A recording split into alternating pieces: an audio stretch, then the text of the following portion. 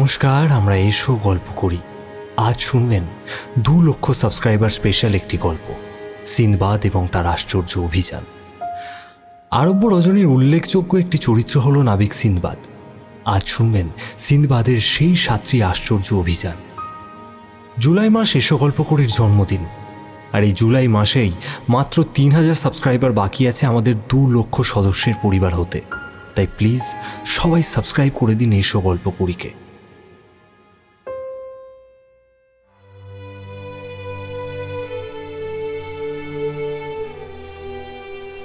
প্রচণ্ড রোদে যখন বাগদাদ পুড়ছে, এমন এক সময় একটা গরিব কুলি ভারী বোঝা মাথায় করে তার রুটি রোজগারের চেষ্টায় রাস্তায় নেমেছে। বেচারা জীবিকা নির্বাহের অন্য কোনো উপায় নেই। ঘামে সারা শরীর ভিজে সব সব করছে। অনেক হেঁটে সে এখন খুব ক্লান্ত। না, আর পারা যাচ্ছে না। এক বড় অট্টালিকার সামনে এসে সে তার মাথার বোঝাটি নামালো। তার পা আর চলতে চাইছে না। গলা শুকিয়ে কাঠ হয়ে গিয়েছে।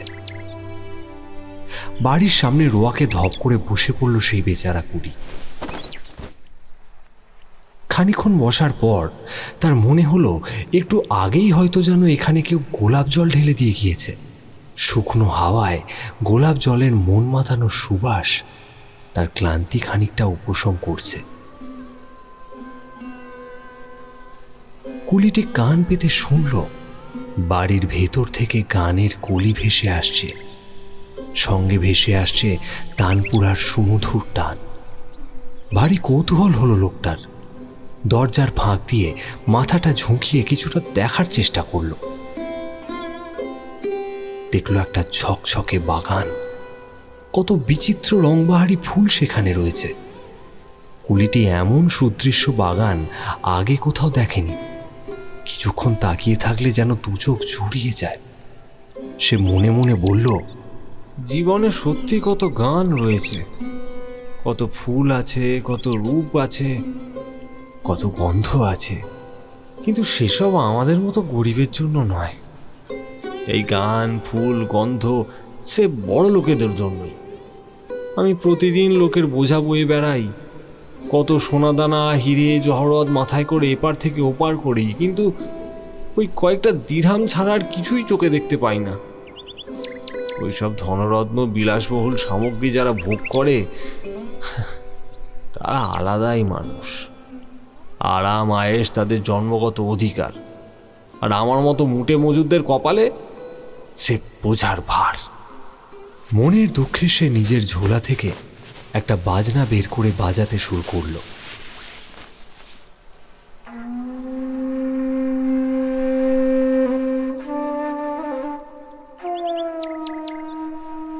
বাদ্যযন্ত্রের সুর মূর্ছনায় যেন তার সমস্ত দুঃখ সুখ তাল গুনে গুনে পড়তে শুরু করল।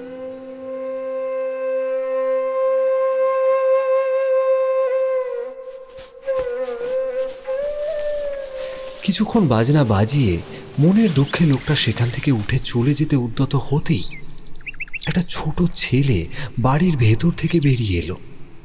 ছেলেটা বলল এই যে শোনো শোনো শোনো। কোথায় চলে যাচ্ছ? একবার বাড়ির ভেতরে এসো তো। আমার মালিক তোমার সঙ্গে কথা বলতে চাইছেন। কুলিটি প্রথমে অবাক হলো পরে ভয় পেয়ে গেল। তার মনে হয় বাড়ির সামনে বসে এরকমভাবে অযাচিত বাজনা বাজানোটাই হয়তো বাড়ির মালিককে ক্রুদ্ধ করেছেন। সে সেখান থেকে পালিয়ে যাওয়ার ছুতো খুঁজে। কি বলবে ভেবে না পেয়ে ছেলেটিকে বলল, কিন্তু আমার এই মোট, এটা কোথায় রেখে যাব বলো তো? ভেতরে অনেক লোকের সামান রয়েছে। যদি চুরি হয়ে যায়, না না বাবু আমি এসব ফেলে ভেতরে যেতে পারব না। এই আমি চললু আরে সে তুমি কিছু ভেবো না। ফটোকে পাহারাদার আছে না? চলো, ওগুলো পাহারাদারের হাতে রেখে ভিতরে যাবে। এ, ভয় নেই ভয় নেই, কেউ ওসব কিচ্ছু নেবে না। তুই চলো চলো চলো। ছেলেটি কুলির হাত ধরে টানল পাহারাদারদের কাছে নিজের মালপত্র গচ্ছিত রেখে কুলিটি ওই ছোট ছেলেটির পিছন পিছন বাড়ির ভেতরে গেল। সুন্দর অট্টালিকা, ঝকঝকে তকতকে সাজানো গোছানো একেবারে। ছেলেটি তাকে একটা বড় ঘরে নিয়ে গেল। কুলি দেখল, খানদানি ঘরে অতিথি অভ্যাগত জড়ো হয়েছে। হরেক রকম নাম না জানা ফুলের শিখির সমারোহ, দেখেই প্রাণ ভরে গেল তার। সাথে রয়েছে আতর আর গোলাপ জলের মিষ্টি গন্ধ, মন একেবারে মাতাল হয়ে ওঠার জোগাড়। আহা লম্বা মেঝেতে চিকনের কাজ করা ধবধবে সাদা চাদর বিছানো। তার উপরে থরে থরে সাজানো খানা পিনা পেস্তার বরফি, গাজরের শাহি হালুয়া, দুষ্প্রাপ্য ফল আরও কত কি? অসংখ্য রূপোর বাটিতে ঝলসানো দুম্বার মাংস, মুরগির দো পেঁয়াজা বটি কাবাব, টিকিয়া, এসবেরও ভরপুর আয়োজন রয়েছে। আর এক ধারে সারাবদানিতে ভরা দামি আঙুরের মদ। একদিকে একদল বান্দা সেজে গুজে অপেক্ষা করছে। আরেকদিকে সুন্দরী বাঁদিরা নানান রকম বাদ্যযন্ত্র হাতে নিয়ে বসে রয়েছে। কুলি মুগ্ধ বিস্ময়ে দাঁড়িয়ে দাঁড়িয়ে দেখল সব। মনে মনে বলল এই যে একেবারে বেহেস্তা এখানে যারা উপস্থিত, তারা এ দুনিয়ার মানুষ নাকি বেহেস্তের জিন পড়ি তা বোঝা যায় না। বাপরে বাপ! সে একপাশে গিয়ে মাথা হেঁট করে দাঁড়াল। ওখানে উপস্থিত সকলের মধ্যমণি যে বৃদ্ধ লোকটা সে তাকে আদর করে পাশে ডেকে বসালো। বান্দাদের একজন ডেকে বলে এসো একটু আয়েস করে বসো এখানে। বসো এখানে বসো। হ্যাঁ। আচ্ছা বেটা এইবার বলো তো তোমার নাম কি? কি করো তুমি? জাহাপানা আমার নাম সিন্ধবাদ কুলি। লোকের ভারী ভারী মোট বয়ে অনেক তাকলিফে নিজের জন্য সামান্য রুটি রোজগার করি আর কি। তোমার বাড়িতে কে কে আছেন? এ দুনিয়ায় কেউ নেই আমার জাহাপানা। বৃদ্ধ হেসে ফেললেন। শিশুর মতো সরল হাসি তার। বললেন আরে কি আশ্চর্য। এ, তোমার নাম আর আমার নাম যে এক হ্যাঁ? তোমার নাম সিনবাদ কুলি আর আমার নাম কি জানো? আমি হলাম সিনবাদ নাবিক আচ্ছা তুমি যে মিষ্টি বাজনাটা বাজাচ্ছিলে সেইটা যদি আমাকে আরেকটি বার শোনাও আমার খুব ভালো লাগবে। কুলিটি সংকুচিত হয়ে পড়ে। আমতা আমতা করে বলে ভগবানের তো দোহাই আমার এই দুঃখের গান শুনে নিজের মনকে ছোট করবেন না জাহাপানা? দুঃখের গান? হুম। চিন্তা করো না। আমার ভাগ্য বড় বিচিত্র, জানো? আমার গল্প তোমায় বললে তুমি বুঝতে পারবে কি নিদারুণ উত্থান পতন আর অগ্নি পরীক্ষার মধ্যে দিয়ে আমি এই অতুল ঐশ্বর্যের মালিক হয়েছি। কি অমানসিক কঠোর পরিশ্রম, ধৈর্য আর তিতিক্ষার ফলশ্রুতি এই সম্পদ, তা আমার কাহিনী না শুনলে তুমি বুঝতে পারবে না।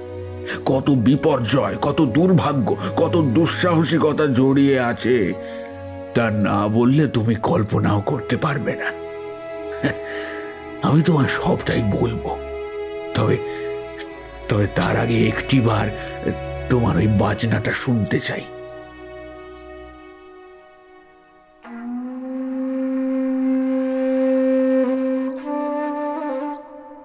আবার শেষ খানিক্ষণ সেই দুঃখের গান বাজনা গম গম করল অট্টালিকার আনাচে কানাচে।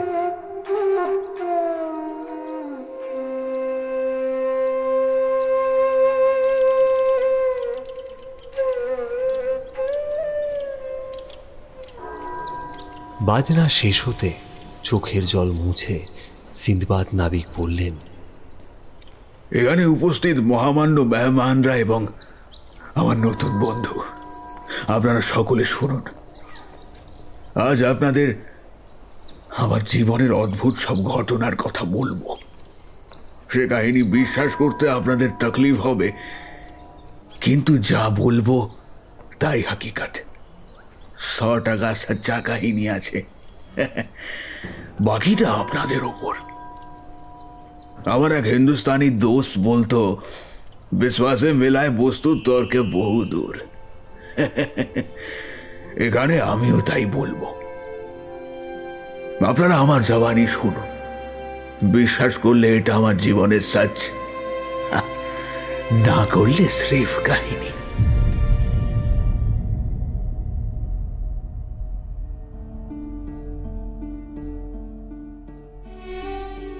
আমার বাবা ছিলেন একজন সম্ভ্রান্ত সদাগার গরিবদের প্রতি তার দরদ ছিল অপরিসীম।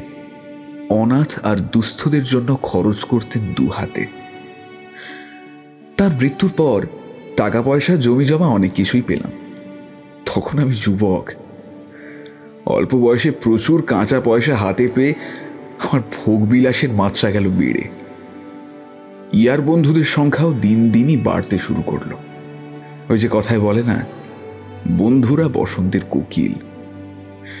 প্রতিদিন দামি দামি মদ আর মাংসের উৎসব চলতে লাগল আমার বাড়িতে। মূল্যবান সাজ পোশাক পরে, ফুর্তি মেরে আর কাব্য করে দিন কাটাতে থাকলাম আমি। এইভাবেই চলল বেশ কয়েক মাস। তবে ওই যে বলে, বসে খেলে কুবেরের ধনও শেষ হয়। হঠাৎ একদিন দেখলাম, বিষয় সম্পত্তি বলতে আর কিছুই বাকি নেই। যা অবশিষ্ট আছে তা নগণ্য। ভয় শিউরে উঠলাম। পেগম্বর সুলেমান এবং দাউদের একটা বাণী মনে পড়ে গেল। আমার বাবা প্রায় কথাগুলো বলতেন কয়েকটা কথা মাথায় রেখো।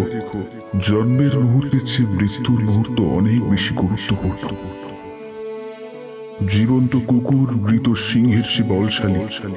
আর ঠিক তেমনই দারিদ্রের চেয়ে মৃত্যু অনেক ভালো ভালো ভালো। ঠিক করলাম। আর এভাবে সময় ও জীবনের গুরুত্বপূর্ণ দিনগুলো অপচয় না করে কিছু একটা কাজের কাজ করতেই হবে। যা কিছু বিষয় সম্পত্তি তখনও অবশিষ্ট ছিল সব কিছু জলের দরে বেঁচে দিলাম। হাতে পেলাম সর্বসাকুল্যে মাত্র তিন হাজার দিরহাম। মনস্থির করলাম, এই তিন হাজার দিরহাম সম্বল করেই বিদেশ যাত্রা করব। বাজারে গিয়ে নানা ধরনের বাহারি জিনিসপত্র সদা করে একটা গাঁটরি পাতলাম। নিজেই মাথায় করে বন্দরে নিয়ে গেলাম সেই গাঁটরি। বন্দরে গিয়ে দেখলাম একখানা জাহাজ ছাড়বার জন্য প্রস্তুত। আগু পিছু না ভেবে চেপে বসলাম সেই জাহাজে। বড় জাহাজ। অনেক লোক একসাথে যাত্রা করতে পারে। দেখলাম আমার মতো আরও অনেকে চলেছে সদা করতে। আমাদের জাহাজ বাগদাদ ছেড়ে বসরাহর দিকে এগিয়ে চলল। শুরু হলো জীবনের নতুন এক অধ্যায়।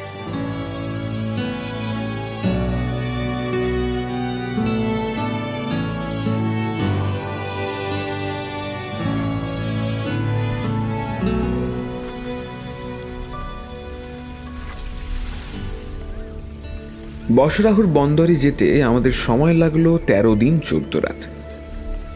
সেখান থেকে প্রয়োজনীয় জ্বালানি তুলে নিয়ে বসরাহুর বন্দর ছেড়ে আবার জাহাজ এগোতে থাকল। দিনের পর দিন উত্তাল সমুদ্রের ওপর দিয়ে যাত্রা করে চলেছি আমরা। এক এক করে দ্বীপ আসে, আবার তাদের পেছনে ফেলে আমরা সামনের দিকে এগিয়ে চলি। ক্লান্তিহীন আমাদের এই সমুদ্র যাত্রা। কবে শেষ হবে কেউ জানে না। মাঝে মধ্যেই বিভিন্ন বন্দরে নামি। কখনো কিছু বিক্রি হয় আবার কখনো কিছুই হয় না। এরপর কয়েক সপ্তাহ এক টানা সমুদ্র যাত্রার পর একদিন এক জনহীন দ্বীপের নিশানা দেখতে পেলাম আমরা। গাছপালায় ভর্তি, শস্য শ্যামল প্রান্তর। চারিদিকে শুধু সবুজের মেলা। কি মনোহর সে দৃশ্য, বেহস্তের উদ্যানের শোভার কথা মনে করিয়ে দেয়। ক্যাপ্টেন যাত্রীদের উদ্দেশ্যে চিৎকার করে বললেন এই দ্বীপে জাহাজ নোঙর করা হবে। যাত্রীরা সবাই নেমে একটু হাত পা ছড়িয়ে নিন খাওয়া দাওয়া সেরে নিন। কাল সকালে আবার আমাদের জাহাজ এই দ্বীপ ছেড়ে সামনের দিকে রওনা হবে। আমরা সব সদাগারি একসাথে নামলাম। খানা পাকাবার সরঞ্জাম ডাল আটা ঘি এই সব সঙ্গে নিলাম। একটা গাছের তলা পরিষ্কার পরিচ্ছন্ন করে উনুন জ্বালানো হলো। এই এতদিন বাদে ডাঙায় নেমে সবাই যেন চন্মনে হয়ে উঠেছে। চলন্ত জাহাজের যাত্রা যেন এক অনন্ত ঘুমের মতো, জেগে থাকলেও কিছু করার উপায় নেই। একঘেয়ে ম্যারম্যারে সেই যাত্রা।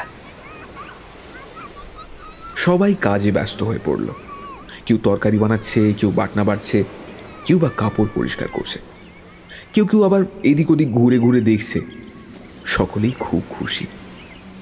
কেউ কেউ তো আবার সব কিছু ফেলে রেখে গাছতলায় পড়ে পড়ে নাক ডেকে ঘুমোচ্ছে। আমার কিন্তু সেদিকে ভ্রুক্ষেপ নেই। আমি প্রকৃতির মনোহর শোভা দেখতে ব্যাকুল। কি অপূর্ব সৌন্দর্য প্রকৃতির। চারিদিকে কেবল গাছ আর গাছ। চোখ আর ফেরাতে পারি না। তবে একটা জিনিস লক্ষ্য করে ভারী আশ্চর্য হলাম। সারা দ্বীপটায় খুব বড় গাছ একটাও নেই। এত বড় দ্বীপ, এত সৌন্দর্য, কিন্তু একটাও বড় গাছ নেই। কিছুক্ষণের মধ্যেই ভুল বুঝতে পারলাম আমরা। সবাই যখন নিজের নিজের কাজে ব্যস্ত, হঠাৎ সারা দ্বীপটা ভীষণভাবে কেঁপে উঠল। যেন প্রচণ্ড এক ভূমিকম্প শুরু হয়েছে সারা দ্বীপটা জুড়ে। কে কোথায় কীভাবে ছিটকে পড়ল বুঝতে পারলাম না। শুধু শুনতে পেলাম ক্যাপ্টেন চিৎকার করে বলছে, যে যেখানে আছো, জাহাজে ফিরে এসো। সর্বনাশ হয়ে গেছে। এটা কোনো দ্বীপ নয়। এক অতিকায় সামুদ্রিক প্রাণী। বহু যুগ ধরে এই সমুদ্রের মাঝখানে ঘুমোচ্ছে। সময়ের সাথে সাথে তার পিঠে পলি জমেছে। গজিয়ে উঠেছে লতা গুল্ম বৃক্ষ। তোমরা রান্নার আগুন জ্বালিয়ে এর ঘুম ভাঙিয়েছ। আগুনের উত্তাপে যন্ত্রণা পেয়ে মোচড় দিয়ে উঠেছে সে। এই প্রাণী কিন্তু এক্ষুনি চলতে শুরু করবে। তোমরা আর দেরি করো না শিগগিরই পালাও। ক্যাপ্টেনের চিৎকারে ভীত সন্ত্রস্ত হয়ে হাঁড়ি কুড়ি থালা বাসন খানাপিনা জামা কাপড় সব ফেলে রেখে সবাই ছুটল জাহাজের দিকে। ক্যাপ্টেন ততক্ষণে হুকুম দিয়ে দিয়েছে। নোর তোলো জলদি। নোর তোলো নোর তোলো জলদি। কয়েক মুহূর্তের মধ্যেই জাহাজ ছেড়ে দেওয়া হলো। আর ওই সময়ের মধ্যে যারা পারল তাড়াহুড়ো করে জাহাজের পাটাতনে উঠে গেল, আর যারা দেরি করল, তারা আর সুযোগ পেল না। প্রাণীটা ততক্ষণে আড়মোড়া ভেঙে একটা প্রচণ্ড গর্জন করে উঠল। মনে হলো যেন আকাশ ভেঙে পড়ল মাথার উপরে। তারপর প্রাণীটা প্রচণ্ড তিনটে ঝাঁকুনি দিয়ে সমুদ্রের গভীরে তলিয়ে যেতে লাগল। জলের মধ্যে এমন আন্দোলন হলো যেন সারা পৃথিবী সেই ঢেউয়ের আড়ালে হারিয়ে যাবে। যেসব হতভাগ্য সদাগারেরা জাহাজে উঠতে পারল না, আমি তাদের মধ্যে একজন। তবে ভগবান আমাকে সমুদ্রের গহ্বরে তলিয়ে যাওয়ার হাত থেকে রক্ষা করলেন। প্রাণীটা যখন জলের তলায় তলিয়ে যাচ্ছে, আমি কোনো রকমে একটা ভাসমান ফাঁপা কাঠের গুঁড়ি আঁকড়ে ধরলাম। অনেক কষ্টে, অনেক চেষ্টায় গুঁড়িটার উপর উঠে বসতে পারলাম আমি। ভারসাম্য যাতে বজায় থাকে, সেইভাবে গণিটার মাঝখানে নিজের দেহটাকে ঠিক করে বসিয়ে দুই পা জলে ডুবিয়ে দাঁড় কাটতে থাকলাম। হঠাৎ আরও এক বিপদ উপস্থিত। এইবার সেই প্রাণীটা তার সুবিশাল লেজ দিয়ে সমুদ্রের নীল জলে তুফান তুলল। একটা উত্তাল ঢেউ এসে আমাকে কোথায় যে ভাসিয়ে নিয়ে গেল কিচ্ছু হদিশ পেলাম না। খানিক পরে যখন জ্ঞান ফিরে এলো, দেখলাম আমাদের জাহাজ থেকে আমি বেশ খানিক দূরে এসে পড়েছি। দেখতে পাচ্ছি আমাদের জাহাজে পাল তোলা হচ্ছে। চিৎকার করলাম, বাঁচাও! বাঁচাও! আমাকে ফেলে যেও না! বাঁচাও! কিন্তু আমার কাতর আরতি অত দূর অব্দি পৌঁছলো না। চোখের সামনে পালে হাওয়া লাগল। আর দেখতে দেখতে সেই নীল সমুদ্রের বুকে অদৃশ্য হয়ে গেল আমাদের জাহাজটা।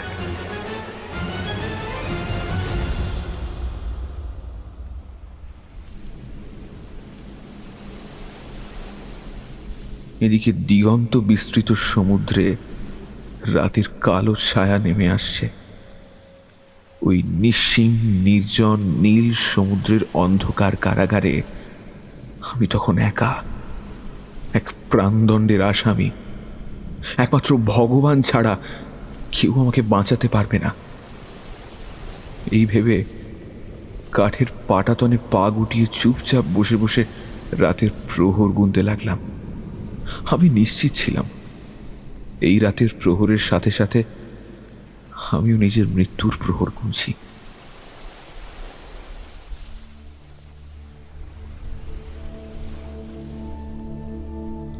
কিন্তু কিন্তু না না না না, ভগবানের অশেষ কৃপায় শেষমেশ আমি মরিনি। এরপর একটু একটু করে অন্ধকার কেটে গেল। একসময় সকাল হলো। সূর্যোদয়ের পূর্বাভাসে সমুদ্রের সাথে মিশে থাকা নীল আকাশ লাল হয়ে উঠল। নতুন করে জীবন ফিরে পাওয়ার আমি ভগবানকে শুক্রিয়া জানালাম। ইয়া আল্লাহ! মাথার উপরে সূর্য চন্দ্রের মতো তুমিও সত্যি আমার এই জীবন্তরী পার লাগাও। আবার শুরু করলাম সাঁতার কাটা। পায়ের দাঁড়ে জল কেটে পাড়ি জমাবার সে এক দুরন্ত ছেলে মানুষই চেষ্টা। ঘটি ঘটি জল তুলে সমুদ্র শোষণ করা আর কি। তা যাই হোক, আমার আকুল আকুতি ভগবান হয়তো বুঝেছিলেন, তাই বেলা বাড়তেই হাওয়ার গতিবেগও বাড়ল। হাওয়ার ঠেলায় আর ঢেউয়ের ধাক্কায় তরতর করে একটা তীরের দিকে ভেসে চললাম আমি। কতক্ষণ এইভাবে চলেছিলাম তা জানি না। অবশেষে দিগন্ত বিস্তৃত নীল জলরাশির মধ্যে তীর দেখতে পাওয়া গেল। আরও খানিকটা ভেসে গিয়ে দেখলাম, হায় ভগবান! দূরে যেটা দেখতে পাচ্ছিলাম, কাছে গিয়ে বুঝলাম সেটা একটা সমুদ্র দ্বীপের দুর্লঙ্ঘ পাহাড়ের পাদদেশ। এটি পাহাড় সমুদ্রের তলা থেকে খাড়াই উঠে গিয়েছে ওপরের দিকে। তার চারিদিকে লতা, গুল্ম, বৃক্ষ, সবুজের সমারোহ। কিন্তু ওপরে ওঠার কোনো উপায় নেই। এমন একটা জায়গাও দেখতে পেলাম না, যেখানে পা রেখে কিছু একটা আঁকড়ে ধরে ওপরে ওঠা যায়। আমার তখন কাঁদো কাঁদো অবস্থা। কি যে করব ভেবে পাচ্ছি না। এমন সময় হঠাৎ চোখে পড়ল একটা পাহাড়ি বট গাছের ডাল থেকে ঝুড়ি ঝুলে পড়েছে সমুদ্রের জলে। মৃদুমন্দ বাতাসে দুলতে দুলতে ঝুপুস ঝুপুস আওয়াজ করছে সেই বটের ঝুড়ি। পা দিয়ে দাঁড় কাটতে কাটতে গুঁড়িটাকে নিয়ে গেলাম সেইখানে। লতানের ঝুড়িটা আঁকড়ে ধরে প্রাণপণ চেষ্টা করে উঠে পড়লাম গাছের ডালে। সেই গাছের ডাল শ্যাওলায় ভর্তি। হয়তো দীর্ঘকাল কোনো বাঁদরের পায়ের স্পর্শও পড়েনি সেই মোটা ডালটায়। তারপর অনেক কষ্টে একসময় পাহাড়ের চূড়ায় উঠে এলাম আমি। এইবার যেন মনে কিছুটা বল ফিরে পেলাম। এই এতক্ষণে নিজের শরীরের দিকে ভালো করে লক্ষ্য করবার ফুরসত হলো। পা দুটোর দিকে তাকিয়ে দেখলাম সামুদ্রিক মাছের কামড়ে ক্ষতবিক্ষত হয়ে গিয়েছে। দুর্গম পাহাড়ের পাথরে ঘষা লেগে বুক ও পিঠের ছাল চামড়া উঠে গিয়েছে। এসব চোখে পড়ার আগে জ্বালা যন্ত্রণা তেমন কিছু অনুভব করিনি, কিন্তু এইবার যেন যন্ত্রণায় কাতর হয়ে পড়লাম। মাথাটা বন বন করে ঘুরতে শুরু করল আমার। দুদিন ধরে খাওয়া তো দূরের কথা, এক ফোঁটা জলও পেটে পড়েনি। মাথাটা ঘুরছে চারিপাশে সবকিছু কেমন যেন আবছা হয়ে আসছে। আমি আমি জ্ঞান হারিয়ে লুটিয়ে পড়লাম সেই শক্ত পাথরের জমিতেই।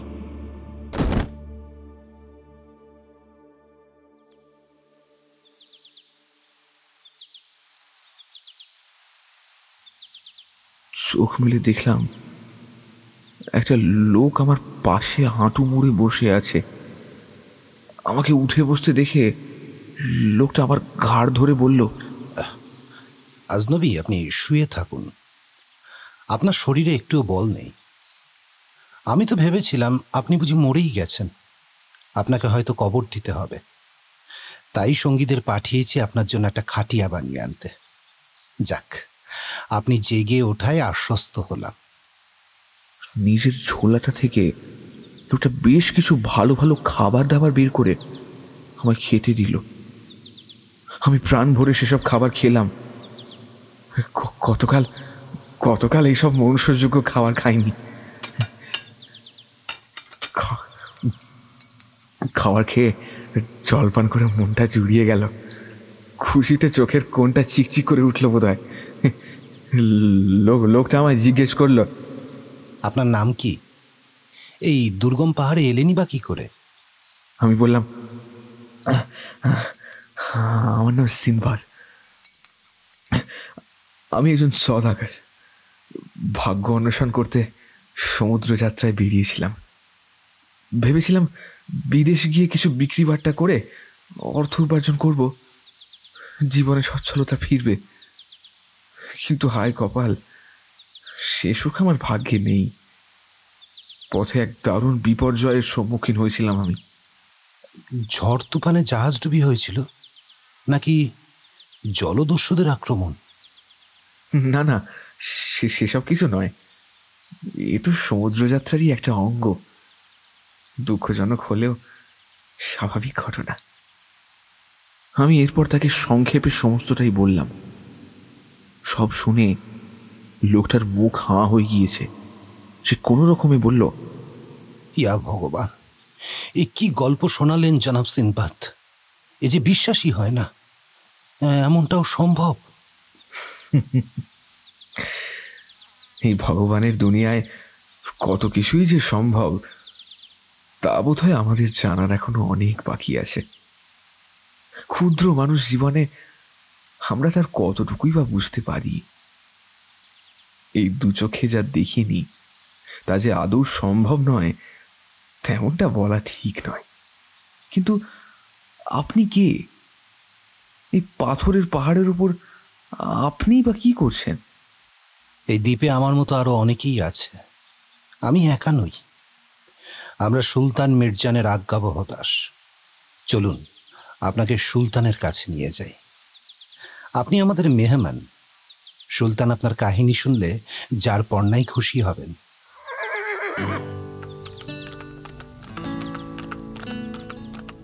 ওদের সঙ্গে ঘোড়ায় চেপে ওদের সুলতানের প্রাসাদে গেলাম। সুলতান মীরজান আমাকে দারুণ আদর অভ্যর্থনা করে তার পাশে বসালেন। আমার সমুদ্রযাত্রার কারণ এবং ভাগ্য বিড়ম্বনার সবিস্তার বিবরণ আগাগোড়া খুলে বললাম তাকে। তিনি মুগ্ধ বিষয় শুনলেন সব। বললেন, বেটা, উপরে ভগবান আছেন। নিয়তির লিখন কেউ এড়াতে পারে না। তোমার নসিবে যা লেখা আছে তা ঘটবেই। তিনি তোমার ইন্তকালও তোমার কপালে লিখে রেখেছেন। তার আগে তোমার মৃত্যু হতেই পারে না। যা দুঃখ, কষ্ট, সুখ, আনন্দ, সবই লিপিবদ্ধ করা আছে আমাদের এই নিয়তিতে। আমরা শত চেষ্টা করেও তা পাল্টাতে পারি না।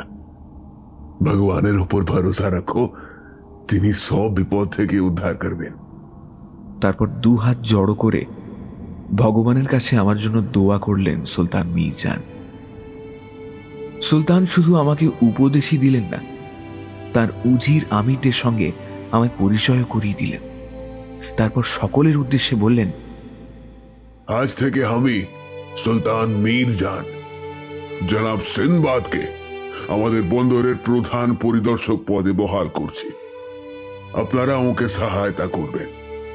প্রয়োজনে উনিও সাধ্যমতো আপনাদের সাহায্য করবেন। আমার এই নতুন চাকরির কাজ তেমন কিছু কঠিন নয়। কখন জাহাজ আসে বা ছাড়ে, আমি সেটুকুই দেখভাল করি মাত্র। সুলতানের দরবারেই আমার বেশিরভাগ সময়টা কাটে। মাঝে মধ্যে বন্দরে গিয়ে এক পাক ঘুরে আসি। প্রায় সব সময়ই সুলতানের ঘনিষ্ঠ সাহচর্যে থাকার ফলে তিনি প্রতি বিষয়েই আমার সঙ্গে পরামর্শ করতেন। প্রজারাও উপকৃত হতে শুরু করল। আমার বুদ্ধি ও বিচক্ষণতায় দরবারের সকলেই খুব প্রশংসা করত। শেষে এমন হয়ে দাঁড়াল যে আমার কথা ছাড়া সুলতান আর কোনো কাজই করতেন না। তবে এত মানিজ্যত, এত হাতের দাড়ি সত্ত্বেও আমার কিন্তু মন বসে না। সুলতানের এত আদর, যত্ন, ভালোবাসা, এত কিছুর পরও মন পড়ে থাকে আমার জন্মভূমি বাগদাদে। আমার শুধু এক চিন্তা, কবে দেশে ফিরে যাব? হাপিতেশ করে বন্দরে বসে থাকি। দূরের সমুদ্রের শূন্যতায় খুঁজে মরি জাহাজের মাস্তুল। যদি কোনো নাবিক এই পথে পাড়ি দেয়, তাকে শুধব। বন্ধু তুমি কি জানো কোন পথে বাগদাদ যেতে হয়? আমার জন্মভূমি, বাগদাদ। সব জাহাজের ক্যাপ্টেনরাই তাদের অজ্ঞতার কথা বলেন। তারা বলেন, শুনেছি বটে, বাগদাদ বলে একটা শহর রয়েছে। জাহাজও ভিড়তে পারে তার বন্দরে, কিন্তু আমি কখনো যাইনি। বলতে পারব না কোন পথে যাওয়া যায় বা কতদিন লাগে সেখানে পৌঁছতে। আমি হতাশ হয়ে প্রাসাদে ফিরে আসি। মনে মনে ভাবি, জাহাজের নাবিকরাই যদি বলতে না পারে, তাহলে আমাকে দেশে ফেরার পথের সন্ধান কে দেবে?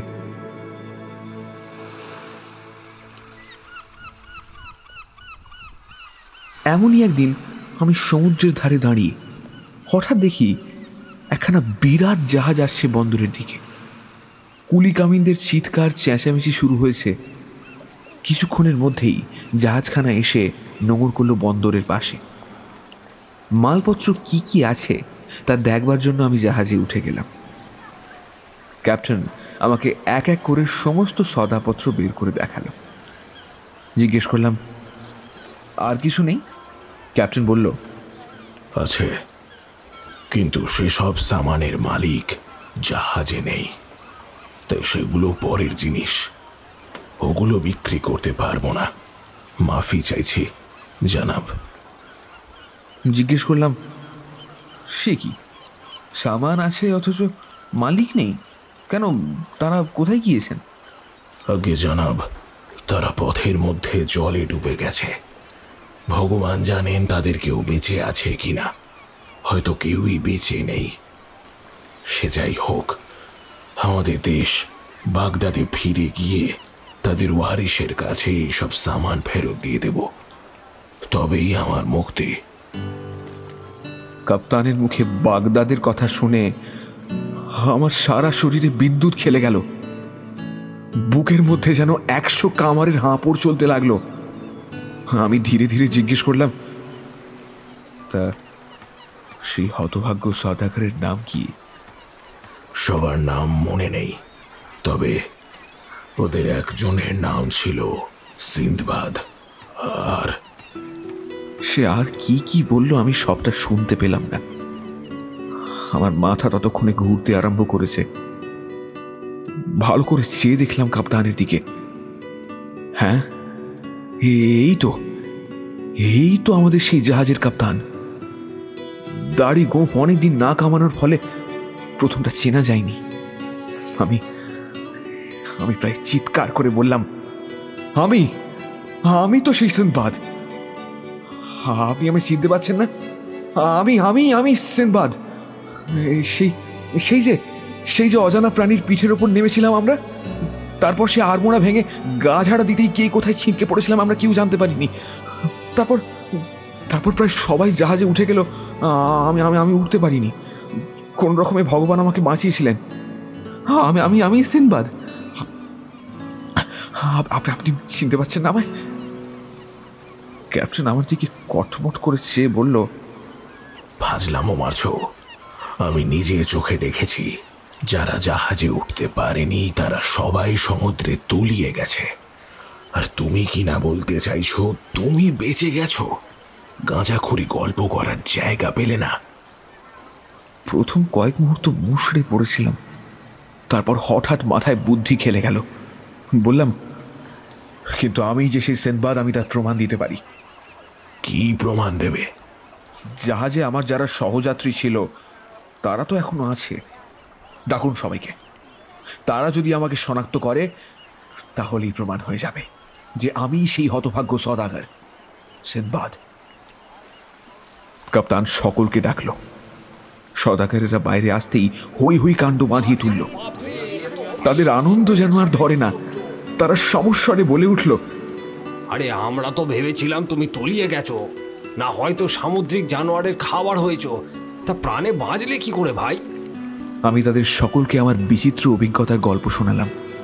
সদাগারেরা আসমানের দিকে দু হাত তুলে খোদার উদ্দেশ্যে প্রণাম জানালো তারা বলল এর থেকেই বোঝা যায় ওপরওয়ালা ছাড়া এই দুনিয়ায় আর কিচ্ছু বড় নয়।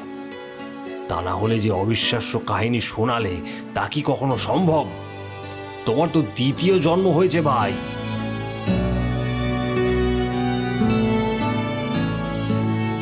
আমার যা যা সামান জাহাজি ছিল সব নিয়ে গিয়ে বাজারে চড়া দামে বেচে দিলাম। কয়েকটি মূল্যবান জিনিস উপহার দিলাম সুলতানকে। সুলতান আমার গল্প শুনে বললেন যাক এ তো দিনে তবে ভগবান মুখ তুলে চাইলেন। জাহাজ ঘাটায় আমায় এগিয়ে দিয়ে বন্দরের ধারে দাঁড়িয়ে সুলতান আমায় বললেন বেটা মায়া মোহব্বত বহুত খারাপ চিজ আছে। দিল কলিজা ঝাঁঝরা করে দেয়। তারপর নিজের দেহ থেকে একটি মহামূল্যবান আংটি খুলে আমার হাতে তুলে দিলেন তিনি। বললেন এই আংটিটা যখন দেখবে তখন আমার কথা মনে পড়বে তোমার। জিন্দগিতে কখনো প্রয়োজন পড়লে জানবে।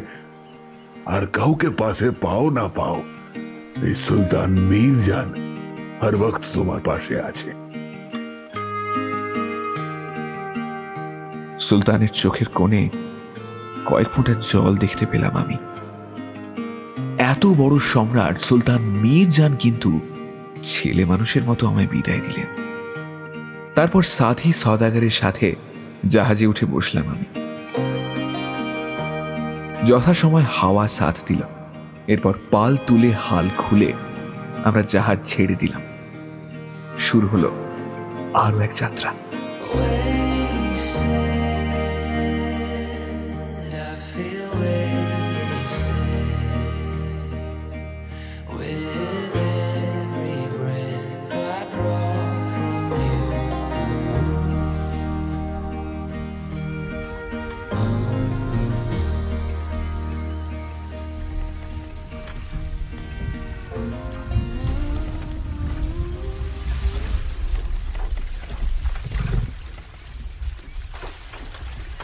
আমাদের জাহাজ চলেছে আমার জন্মভূমি, বাগদাদের উদ্দেশ্যে।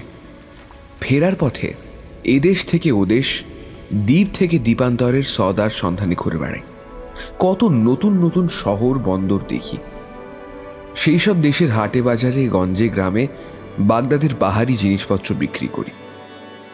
বিদেশিরা হুমড়ি খেয়ে পড়ে। এমন জিনিস যেন তারা কখনো চোখেই দেখেনি। বেশ চড়া দামে বিক্রি হতে থাকে মাল। একদিন সমুদ্রের মধ্যে একটা সুন্দর দ্বীপে এসে জাহাজ নোঙর করলাম আমরা। আমি চারিদিকে ঘুরে ঘুরে প্রকৃতির শোভা দেখছি। এমন সময় এক জায়গায় এসে গাছের পাকা ফল দেখতে পেলাম। এই জায়গাটা বেশ শান্ত। জাহাজ যেখানে নোঙর করা হয়েছে, সেখান থেকে একটু দূরে। পাশেই কুলকুল রবে পাহাড়ি ঝর্ণা বয়ে চলেছে। গাছের মিষ্টি ফল আর ঝর্ণার জল খেয়ে প্রাণ ভরে গেল। মৃদুমন্দ বাতাস বইছিল। আবেশে দু চোখ জুড়িয়ে এলো আমার।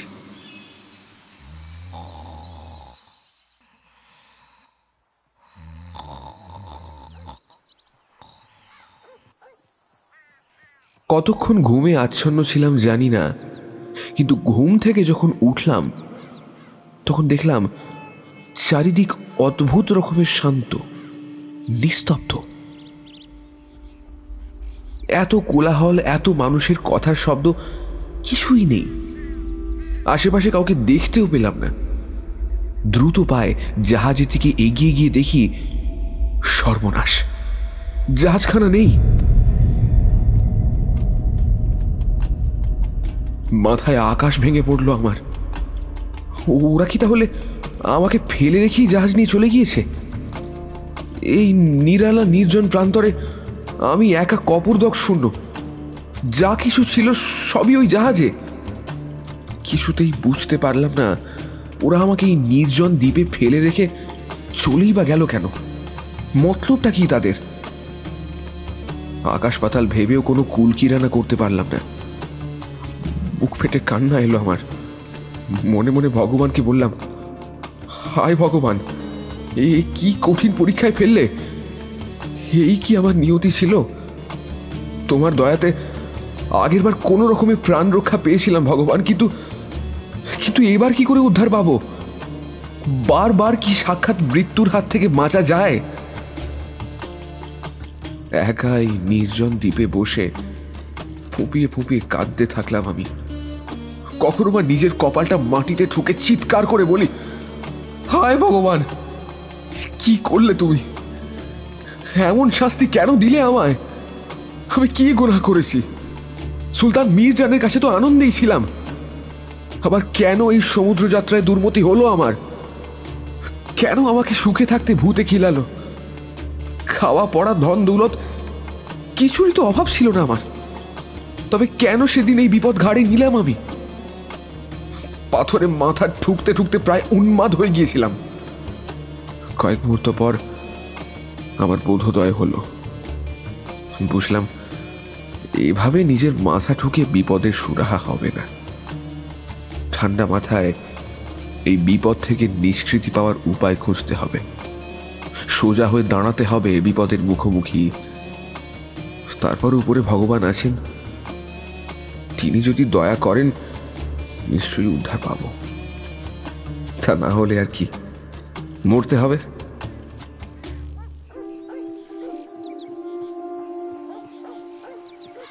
উঠে দাঁড়িয়ে এদিক ওদিক চেয়ে দেখলাম খানিক্ষণ তারপর একটা বিরাট গাছের ডালে উঠে বসলাম আমি। কি জানি? কোথায় ওঁত পেতে রয়েছে কোনো জন্তু জানোয়ার? গাছের মাথায় উঠে যেদিকেই তাকাই না কেন কোনো জনবসতি চোখে পড়ে না। চারিদিকে শুধু দিগন্ত বিস্তৃত গহীন, গভীর বনাঞ্চল ধু ধু মাঠ, প্রান্তর, সমুদ্র, পাহাড় আর পাখি।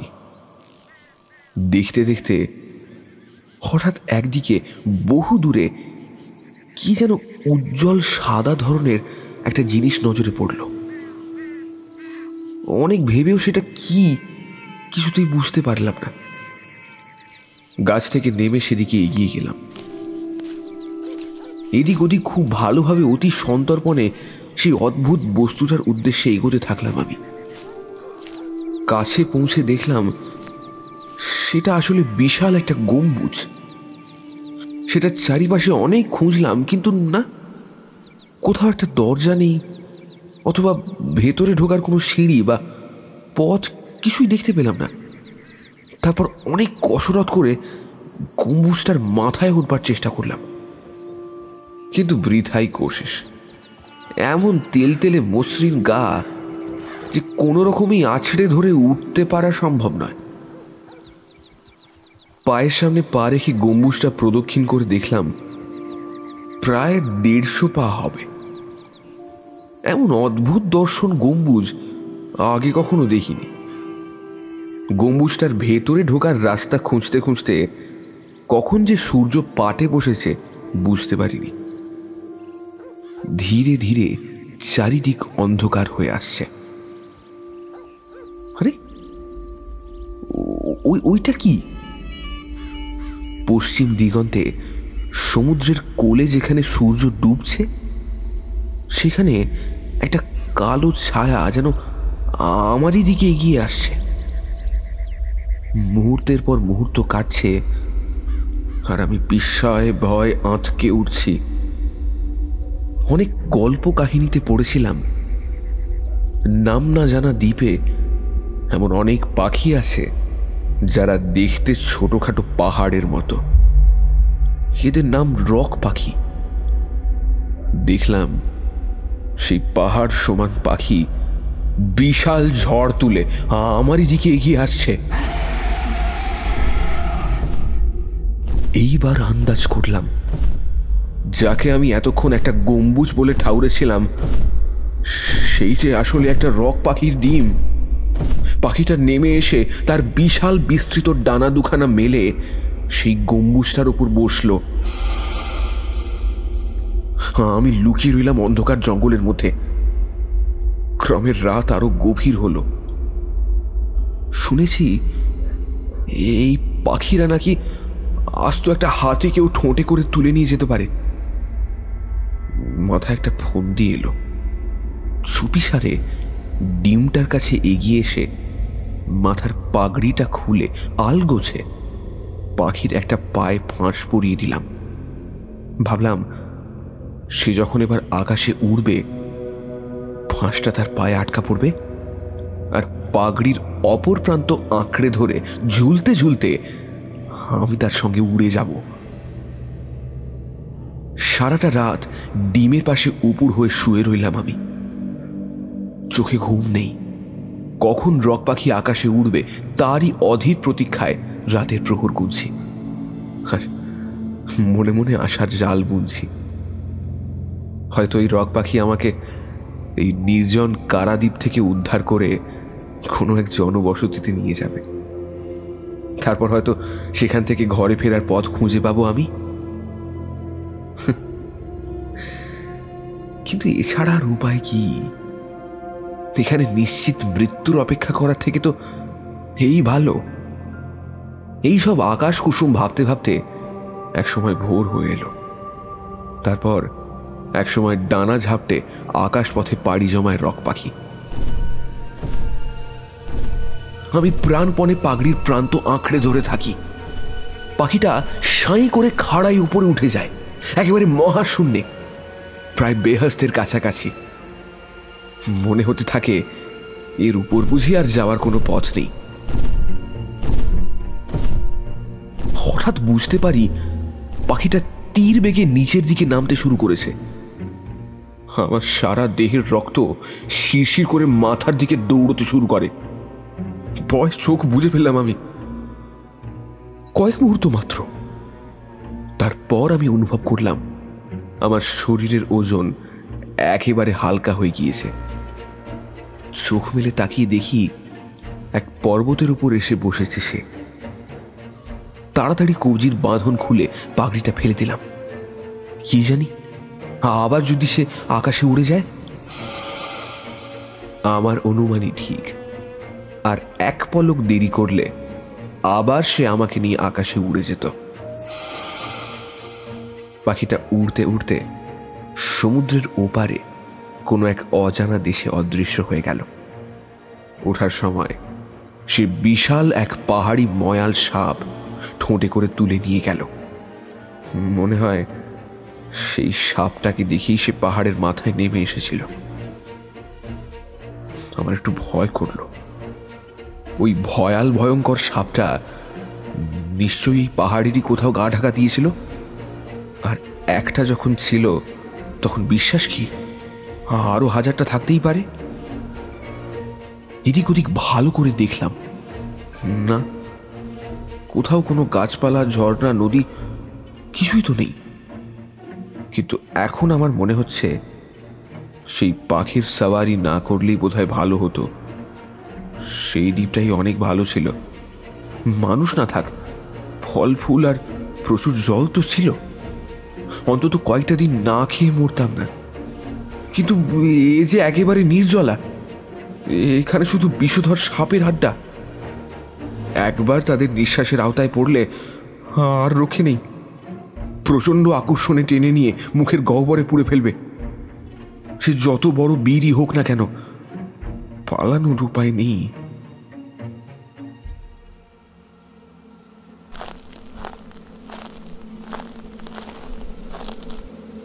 ধীরে ধীরে আমি নামতে শুরু করলাম। একটু নামতেই একটা উপত্যকা এসে পড়লাম। পর্বত সংকুল হলেও মোটামুটি সমতল। সেই পাহাড় থেকে নামতে নামতে যেদিকেই তাকাই, শুধুই দেখি উজ্জ্বল পাথরের স্তূপ। সূর্যের রশি পড়ে সেইখান থেকে আলো ঠিকরে উঠছে। আমি প্রায় চেঁচিয়ে উঠে বললাম, হিরে, হিরের পাহাড়! হিরের পাহাড়! হিরে হিরে, হিরের পাহাড়! দূর থেকে এতক্ষণ যেগুলোকে স্রেফ মামুলি পাথরের টুকরো বলে ভুল হয়েছিল, তা আসলে সবই ছোট বড় নানা আকারের হিরে। কোথাও কোথাও ওই হীরের স্তূপ এক মানুষ সমান উঁচু হয়ে উঠেছে। অবাক বিস্ময় সেই হীরের পাহাড় দেখছি। এমন সময় খানিক দূরে দেখি এক ঝাঁক সাপ। সাথে সাথেই শরীরের রক্ত হিম হয়ে গেল। দেখলাম সাপগুলো ধীরে ধীরে তাদের গর্তের মধ্যে ঢুকে পড়ছে। আমি কোথায় এসে পড়লাম ভগবান? একদিকে এত ঐশ্বর্য আর অন্যদিকে সাক্ষাৎ মৃত্যু। পা ফেলার আগে খুব ভালোভাবে জায়গাটা দেখে নিলাম। কি- জানি, হয়তো সাপের গর্তেই পা রাখব। সারাটা দিন একটু নিরাপদ আশ্রয়ের সন্ধান করে কাটালাম। কিন্তু একটা মাত্র গুহা ছাড়া আর কোনো কিছুই চোখে পড়ল না। সাপের ভয়ে খিদে তৃষ্ণা মাথায় উঠেছে। ক্রমে সন্ধ্যার ছায়া নেমে আসতে শুরু করল। আমি আর বাইরে থাকা নিরাপদ মনে না করে সেই ছোট্ট গুহাটার ভেতর কোনো রকমের শরীরটাকে গলিয়ে দিলাম। তারপর একটা পাথরের চাই দিয়ে চাপা দিয়ে দিলাম প্রবেশ পথ মনে মনে ভাবলাম, কোন রকমের রাতটুকু কাবার করা যাক। তারপর কাল সকালে যা ভাগ্যে থাকে হবে। গুহার ভেতরে একটা কোণ বেছে নিয়ে শুতে যাব হঠাৎ। সামনের পাথরের চাইটা কেমন নড়ে চড়ে উঠল। সর্বনাশ! যাকে একখণ্ড কালো পাথরের চাই ভেবেছিলাম, সেইটা আসলে একটা সাপ। কুণ্ডলি পাখি ডিমে তা দিচ্ছিল। আমার অবস্থা তখন যে কি, তা আশা করি বুঝতেই পারছেন। সারা শরীর অবশ হয়ে গেল আমার। মাথাটা, মাথাটাও কেমন ঝিমঝিম করতে লাগল। তারপর তারপর আর কিচ্ছু মনে নেই।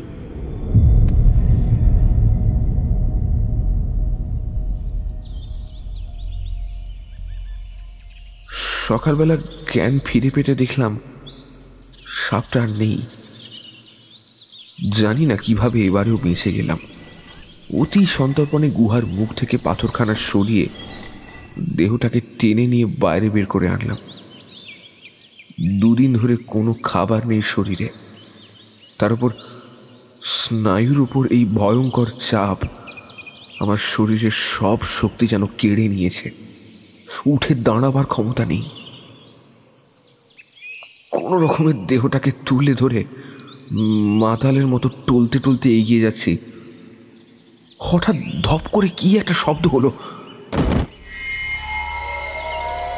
তাকিয়ে দেখি আমার সামনে এসে পড়েছে প্রকাণ্ড একটা ভেড়ার মাংস।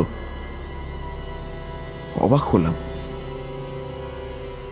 কাছে গিয়ে দেখলাম, একটা ভেড়ার চার ভাগের এক ভাগ ছাল চামড়া জড়ানো মাংসপিণ্ড। ছেলেবেলায় নানা জানের কাছে গল্প শুনেছিলাম, জহুরিরা নাকি এই হীরক পাহাড়ে মাংসর খণ্ড ছুড়ে দেয়। তারপর রক পাখিরা এসে সেই মাংসপিণ্ড তুলে নিয়ে যায় ঠোঁটে করে। আর সেই কাঁচা মাংসের গায়ে লেগে থাকা হীরের টুকরোগুলো সাথে করে নিয়ে যায় তারা। তারপর সেই পাখিটাকে তাড়িয়ে মাংসের গা থেকে হীরের টুকরোগুলো খুলে নেয় সেই জহুরিরা। সঙ্গে সঙ্গে মাথায় একটা বুদ্ধি খেলে গেল। বড় বড় অনেকগুলো হিরে কুড়িয়ে কুর্তা, কামিজ, পাতলুন সব খুলে কোমরে হিরেগুলো বোঝাই করে ঝুলিয়ে নিলাম। পাগড়িটা খুলে মাংসের পিণ্ডটাকে ফাঁস দিয়ে এমনভাবে বাঁধলাম যাতে মাংসের বেশিরভাগ অংশটাই অনাবৃত থাকে। তারপর পাগড়ির অপর প্রান্ত আমার হাতে বেঁধে একটা পাথরের চাঁইয়ের আড়ালে ঘাপটি মেরে বসে রইলাম। কিছুক্ষণ পরই নেমে এলো একটা রক পাখি। তার নেমে আসার সময় শোঁ শোঁ করে যেন হাওয়ার একটা ছোটখাটো ঝড় উঠল। মাংসপিণ্ডটার সাথে আমাকেও আকাশে তুলে নিয়ে গেল সে।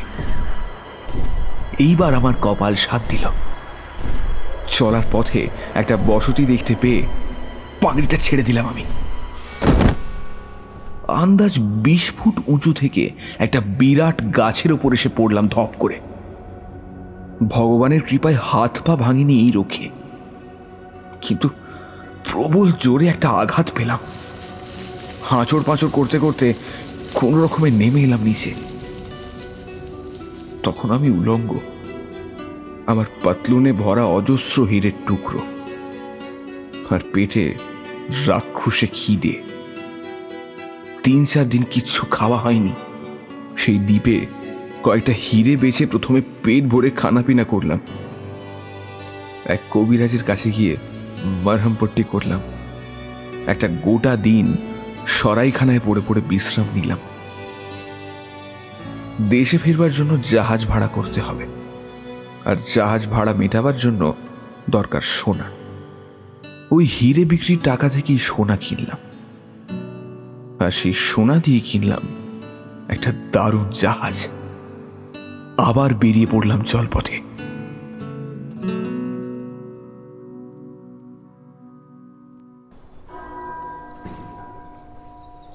কুলি সিনবাদ বলল, আগে হুজুর, তারপর? বন্ধুগণ, ভগবান যে সর্বশক্তিমান, সে তো আমরা সবাই জানি। কিন্তু তার অসাধারণ জ্ঞান, বুদ্ধি, বিচক্ষণতাও মানুষের চাইতে অনেক বেশি। তা না হলে যে বিপদে পড়ে একদিন আমার প্রাণ সংশয় ঘটেছিল।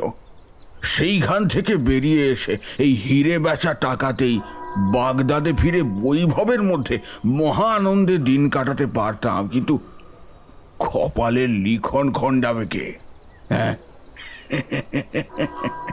তার মানে এবারেও আপনি বাগদাদে ফেরেননি? না। আবার এক নিকটবর্তী বন্দর থেকে বেশ কিছু সদাগার আমার সঙ্গী হলো। আমার নতুন জাহাজের কাপ্তানটি ছিল চৌখস লোক। নানা বন্দর থেকে আমরা সদা করার মতো জিনিসপত্র তুলে নিলাম জাহাজে। ভেবে দেখলাম, বাগদাদে বসে বসে একঘেয়ে আনন্দের জীবন আর আমার ভালো লাগবে না। সে জীবনে কোনো বৈচিত্র্য নেই। কুঁড়ের মতো ঘরে বসে বসে বিলাস বসনের মধ্যে দিন কাটাবো সে জিনিস আমার রক্তে নেই। এইবার আমি আর ভারী ভারী মোটা সদা সঙ্গে নিলাম না। বিদেশের বাজারে মূল্যবান আতর নির্যাসের কদর খুব বেশি। পয়সার তো আর অভাব নেই। অনেক টাকা খরচ করে এইসব বিলাসের সামগ্রী সংগ্রহ করলাম আমি। সঙ্গী সদাগারেরা সবাই সচ্চা মুসলমান। তাদের সাথে আমার বেশ দোস্তি হয়ে গেল। ভালো সঙ্গী দল পেলে যাত্রার ক্লান্তি ও একঘেয়েমি সহজেই দূর হয়ে যায়। গল্পগুজব গান বাজনা করে আমরা জলপথ কাটাতে লাগলাম। জাহাজ চলতে লাগল। এক এক করে অনেক বন্দর আসে। শহরে শহরে আমরা সওদা ফেরি করি। আমি যে ধরনের মূল্যবান সামগ্রী সঙ্গে নিয়েছি, সে ধরনের সদা বড় একটা কেউ সঙ্গে নিতে পারে না। তাই যেখানেই দেখাই, সবাই লুফে নেয়। প্রতিটা সদায় মোটা লাভ হতে থাকে। আমার খুশিতে মনটা নেচে ওঠে। এত দিনে তবে কাঙ্ক্ষিত জীবন পেয়েছি। টাকাও কামাই, দেশও দেখি, আর কি চাই?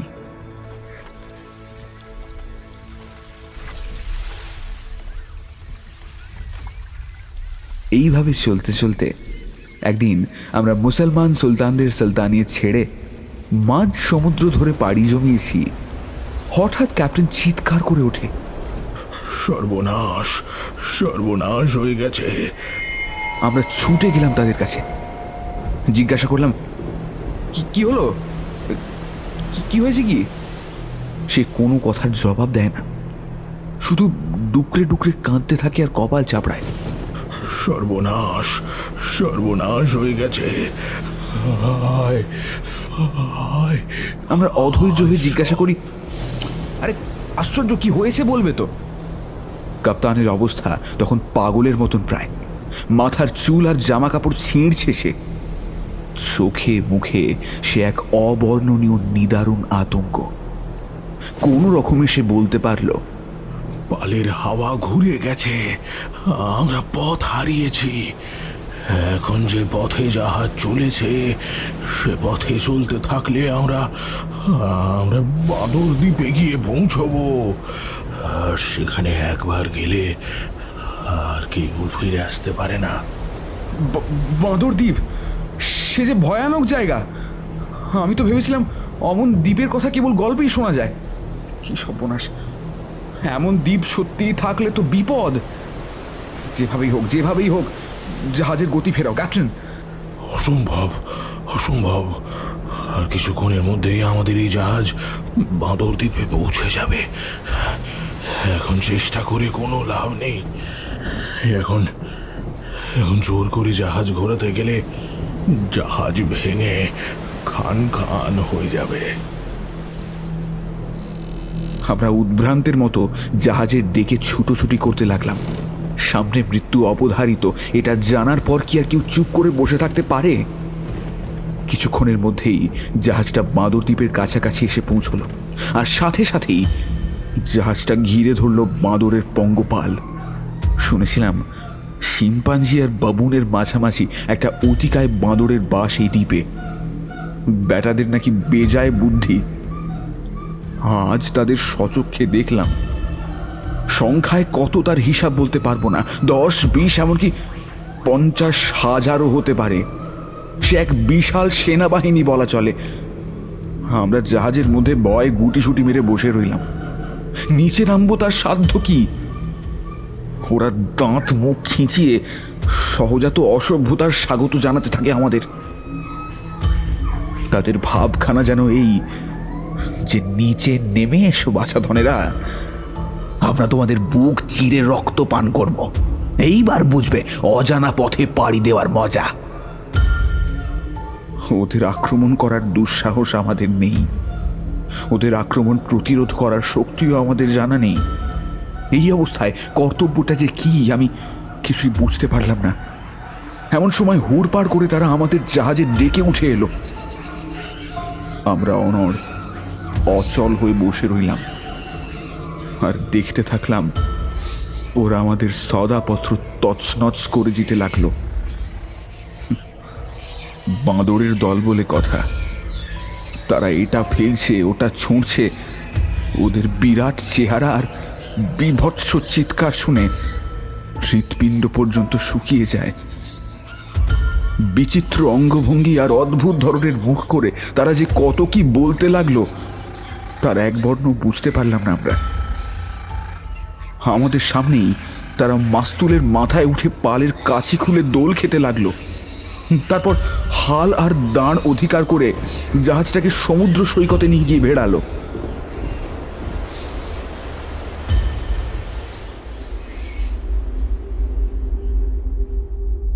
এক এক করে আমাদের সবাইকে টানতে টানতে তীরে নামিয়ে দিল ওরা। বুঝলাম, আমরা তখন বলির পাঁঠা। মৃত্যু নিশ্চিত জেনেও রুখে দাঁড়াবার দুঃসাহস নেই। আমাদের সকলকে নামিয়ে দিলেও ওরা কিন্তু কেউই জাহাজ থেকে নামলো না। দেখলাম চোখের সামনে আমাদের যথা সর্বস্ব সদা ঠাসা জাহাজখানা নিয়ে ওরা মাছ দরিয়ায় অদৃশ্য হয়ে গেল। আর আমরা কেবল পড়ে রইলাম সেই জনমানব শূন্য দ্বীপে। আমার মতো অনেকেই বুক ভাঙা কান্নায় ভেঙে পড়ল। সকলের উদ্দেশ্যে বললাম, কান্নাকাটি করে লাভ কি? বিদেশে বিপর্যয় ঘটতেই পারে। তার জন্য আগে থেকে যেমন সতর্ক হওয়া দরকার, তেমনি বিপদ এলে ভেঙে পড়াও সঙ্গত নয়। অবস্থা ও সময়ের সঙ্গে মানিয়ে চলাটাই বিচক্ষণের কাজ। যাই হোক, আমাদের সর্বস্ব গেছে। এখন বাঁচার পথ বের করতে হবে। আমরা সকলেই সেই সমুদ্র সৈকতে বালির উপর বসে একটা সভা করলাম। ঠিক করলাম, আগে আমরা দ্বীপের অভ্যন্তরে ঢুকে কিছু খাবার দাবারের সন্ধান করব। প্রথমে ফলমূল এবং জলের সন্ধান করে তারপর অন্য ফিকির খুঁজতে হবে। সমুদ্র তীর থেকে খানিকটা ভেতরে ঢুকতেই নানা রকম পাকা মিষ্টি ফল আর ঝর্ণার জলের খোঁজ পাওয়া গেল। ধরে যেন প্রাণ এলো আমাদের। ভাবলাম, যাই হোক, অনাহারে শুকিয়ে মরতে হবে না। এদিক ওদিক ঘুরে ঘুরে পাকা মিষ্টি ফলের সন্ধান করতে করতে আমরা আরও অনেকটা ভেতরে ঢুকে পড়েছি। হঠাৎ নজরে পড়ল গাছের ফাঁক দিয়ে অদূরে এক প্রাসাদোপম অট্টালিকা দেখা যাচ্ছে। আপাতভাবে মনে হয় জনমানব শূন্য। খানাপিনা শেষ করে আমরা ওই ইমারতের দিকে এগিয়ে চললাম। প্রকাণ্ড উঁচু সেই প্রাসাদ। প্রস্থে দৈর্ঘ্যের সমান। চতুষ্কোণ এক ভগ্ন স্তূপ। প্রাসাদের চারদিকে পাথরের প্রাচীর ঘেরা। দু দুটো সিংহ দরজা পেরিয়ে তবে প্রাসাদের চত্বরে প্রবেশ করা যায়। শুধু সিংহদারই হাট হয়ে পড়ে আছে। সিংহ সদৃশ প্রহরী হাজার নেই সেখানে। আমরা সাবধানে ভেতরে ঢুকলাম। বিরাট প্রশস্ত প্রাঙ্গণ সদৃশ এক কক্ষ। সারা ঘরময়, থরে থরে সাজানো রান্না বান্নার সরঞ্জাম। বড় বড় কড়াই, ডেকচি হাতা বেরি প্রভৃতি সাজানো আছে। ঘরের মেঝের মধ্যে স্তূপীকৃত হাড় আবার কতগুলো একেবারে শুকনো সাদা হয়ে গিয়েছে, আবার কতগুলোতে এখনও মাংসের ঝোল লেগে রয়েছে। একটা পচা দুর্গন্ধ নাকে এলো আমাদের। তার সঙ্গে সঙ্গেই মাথাটা কেমন ঝিমঝিম করতে লাগল সকলের।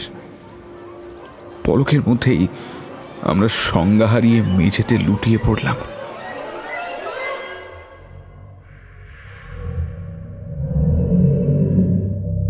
সূর্য সবে পাটে বসেছে। এমন সময় বজ্রপাতের মতো এক হুঙ্কারে আমাদের তন্দ্রাভাবটা কেটে গেল। ধর্মর করে উঠে বসতেই দেখলাম বিশাল দৈত্যের মতো একটা কালো কুৎসিত কদাকার মানুষ সিঁড়ি দিয়ে নিচে নেমে আসছে। লম্বায় সে তাল গাছের সমান। হতকুৎসিত বাঁদরের চেয়েও বিভৎস তার মুখের গড়ন।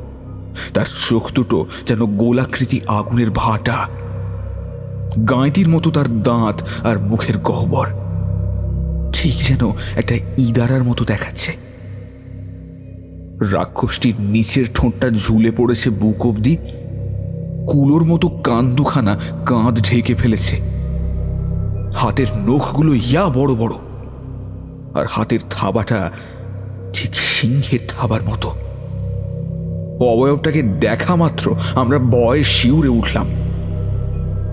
পরে পাথরের মতো নিশ্চল হয়ে বসে রইলাম আমরা।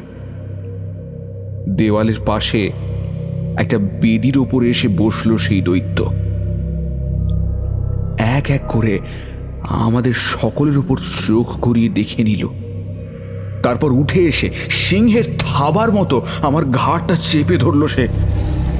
ছোট্ট একটা ইঁদুর ছানার মতো আমার দেহটাকে শূন্যে তুলে এদিক ওদিক ঘোরাতে থাকল সেই দৈত্য। তারপর কি খেয়াল হলো? আমাকে মেঝের ওপর ছুঁড়ে দিয়ে আরেকজনের ঘাড়ে থাবা বসালো সে।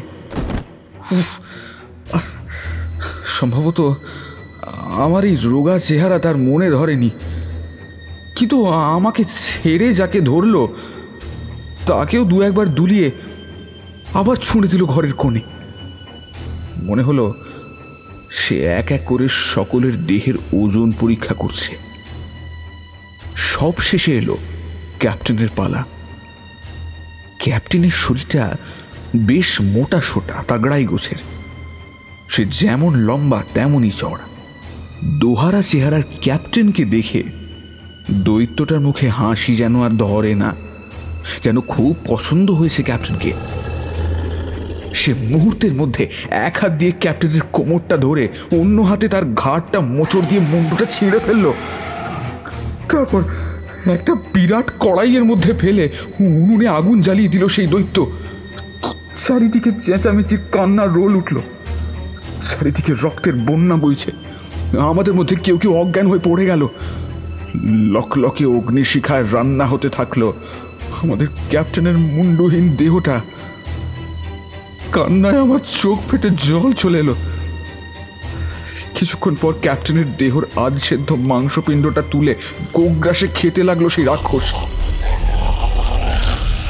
খুব তৃপ্তি করে খেয়ে মোটা মোটা হাড়গুলো মেজের ওপর ছুঁড়ে ছুঁড়ে ফেলতে লাগল সে।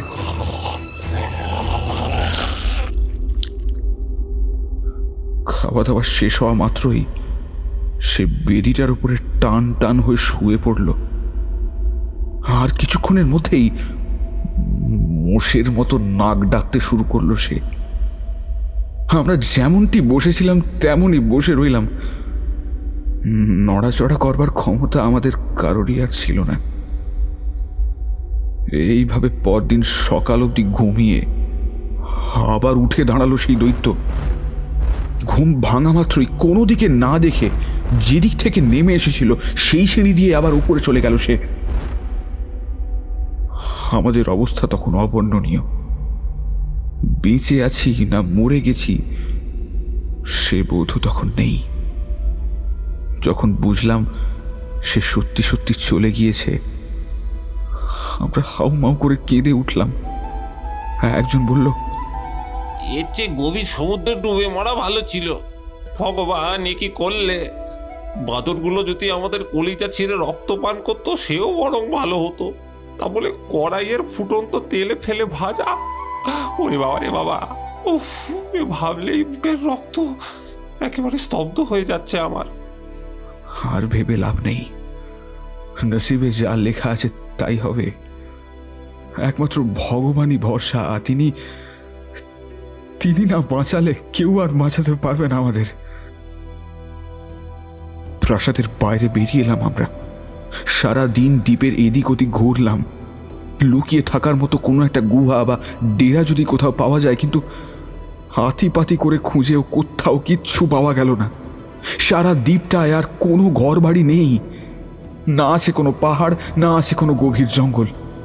সর্বত্রই ফাঁকা ফাঁকা গাছপালা আর মুক্ত প্রান্তর।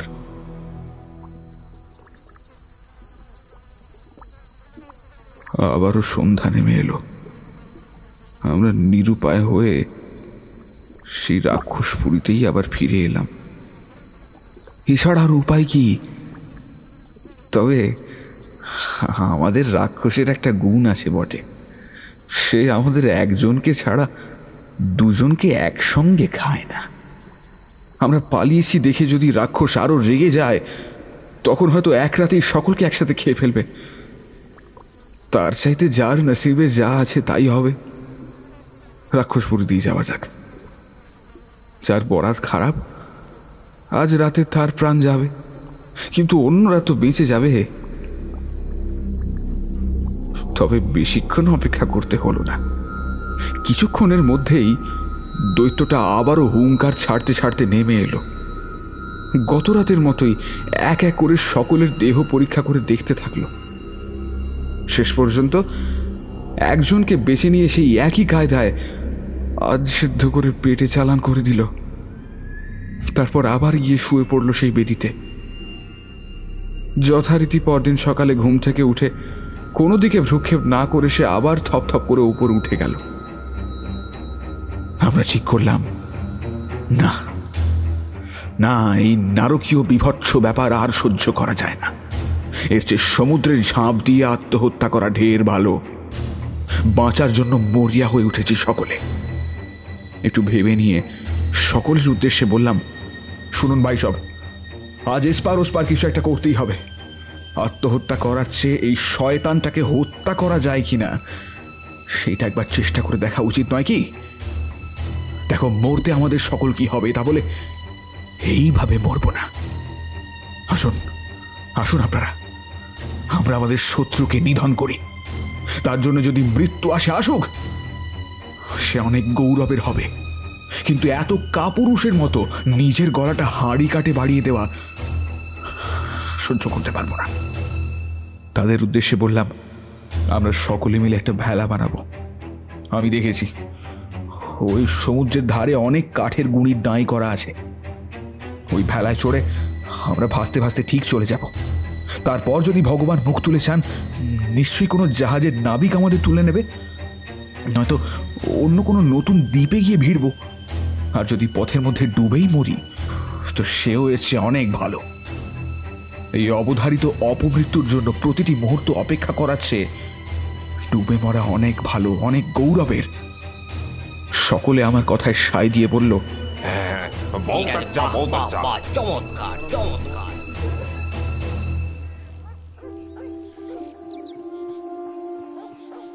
কথা মতো আমরা সকলে সমুদ্রের ধারে গিয়ে কাঠের গুঁড়িগুলো দিয়ে একটা ভেলা বানালাম। নানা রকম কাঁচা পাকা ফলমূল বোঝাই করলাম সেই জল জানে বেশ কিছুদিন খাবার সঙ্গে থাকা দরকার। না জানি কতদিনে নতুন দ্বীপের বা কোনো জাহাজের সন্ধান পাওয়া যাবে। শেষবারের মতো সকলের সাথে কথা বলে নিলাম। না জানি আজ কার রাক্ষসের পেটে যাওয়ার পালা।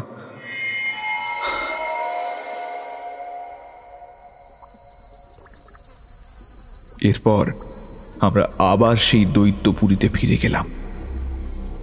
যথাসময় রাক্ষসটা হুঙ্কার ছাড়তে ছাড়তে নেমে এলো। তারপর আবার এক এক করে বাছাই করে একজনকে কড়াইতে চাপালো। এই কদিনে বিভৎসতাটা আমাদের অনেকটা গা সবা হয়ে গিয়েছিল। তবু চোখটা বন্ধ করে নিলাম। বন্ধুর জন্য শেষবারের মতো ভগবানের কাছে দোয়া করলাম।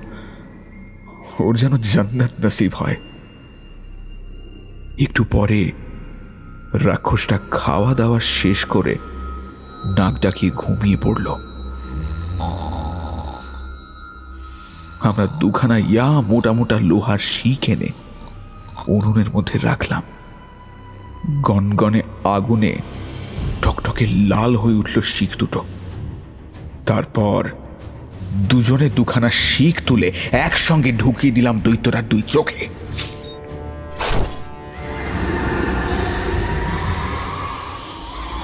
যন্ত্রণায় আকাশ ফাটা আর্তনা করে ওঠে সে। কিন্তু ততক্ষণে আমাদের কাজ হাসির হয়ে গিয়েছে। বিকটভাবে দাঁত মুখ খিঁচিয়ে সে আমাদের দিকে তেড়ে আসে, কিন্তু এলে কি হবে? চোখ তো তখন বন্ধ। আন্দাজ কি করে করবে আমাদের? আমরা ওর সঙ্গে লুকোচুরি খেলা করতে করতে পাশ কাটিয়ে যেতে থাকি। নিরুপায় হয়ে দৈত্যটা যখন গোঙাতে গোঙাতে সিঁড়ি বেয়ে উঠে যায়, আমি নিশ্চিন্তে সকলকে বললাম, তাড়াতাড়ি করুন। এই- এইবার চলুন ভেলার উদ্দেশ্যে। আসুন। তাড়াতাড়ি হ্যাঁ? ভাবলাম বুঝি পথের কাঁটা দূর হয়েছে। কিন্তু না, আমরা ভুলছিলাম ভেলাটা তখনও তীর ছেড়ে খুব বেশি দূরে যায়নি। দেখলাম একটা বিশ্রী দেখতে মেয়ে ছেলে দৈত্যটার হাত ধরে ছুটতে ছুটতে তীরের দিকে এগিয়ে আসছে। মেয়েটা একখণ্ড পাথরের চাই এনে দিল ওর হাতে। আর দৈত্যটা প্রচণ্ড বেগে সেটা ছুঁড়ে মারলো আমাদের বেলা লক্ষ্য করে। মনে মনে ভাবলাম, জীবনটা বুঝি এখানেই শেষ। আর বাঁচার সুযোগ নেই। মাথার উপর এই অনন্ত আকাশ, এই সমুদ্রের ঢেউ, সবুজ বনানি আর দেখতে পাবো না। আর কোনোদিন নিজের মাতৃভূমি বাগদাদেও ফেরা হবে না। বাগদাদ তো কোন ছাড়? হয়তো মরার পরে দুমুঠো মাটিও নাসিব হবে না। আল্লাহ। এই পাথরের আঘাতেই তছনছ হয়ে যাবে ভেলা। আর আমাদের সলিল সমাধি হবে। আমি চোখ বুঝে ফেললাম।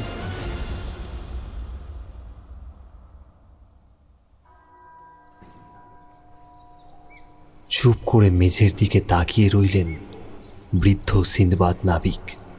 কুলি সিন্দবাদ বলল, আগে হুজুর, তারপর? ওই পাথর এসে আপনাদের ওপর পড়ল? আজ অনেক রাত হয়ে গিয়েছে। একটানা বেশিক্ষণ কথা বললে আজকাল হাঁপ ধরে। আজকের রাতটা বরং আমার এই মেহমান খানায় বিশ্রাম করো। কাল সুবহ আমরা এই নিয়ে আবার কথা বলব। কেমন? এই বলে উঠে বাগানের দিকে চলে গেল সিনবাদ নাবিক। তার চোখে মুখে একটা চাপা বেদনা আর উদাস চাউনি। জ্যোৎস্নার আলোয় সে চোখের কোণে যেন একটু জলও চিকচিক করে উঠল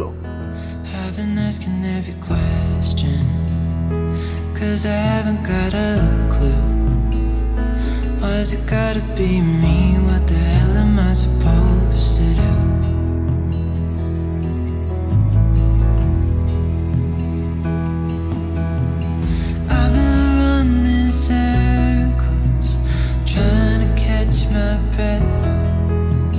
I've been trying everything I can, but I ain't got nothing.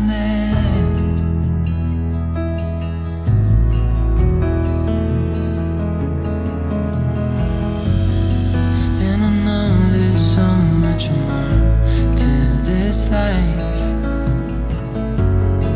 but it's hard to see it clearly.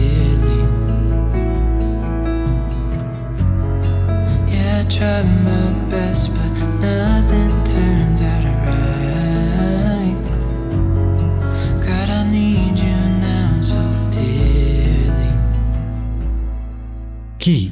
কেমন লাগছে আজকের গল্প? ভালো লাগলে অবশ্যই আমাদের চ্যানেল এসো গল্প কুড়িকে সাবস্ক্রাইব করুন আর শুনতে থাকুন গল্পের পরবর্তী অংশ।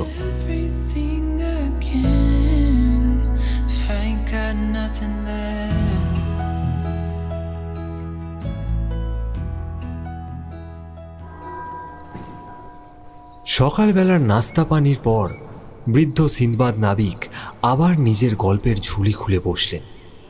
কুলি সিনবাদ বলল তারপর কি হলো মালিক? হ্যাঁ কদ্দূর যেন বলেছিলাম? কুলিটি তাকে মনে করিয়ে দিল সেই অসমাপ্ত গল্পের শেষাংশ। আবার শুরু করলেন বৃদ্ধ সিনবাদ।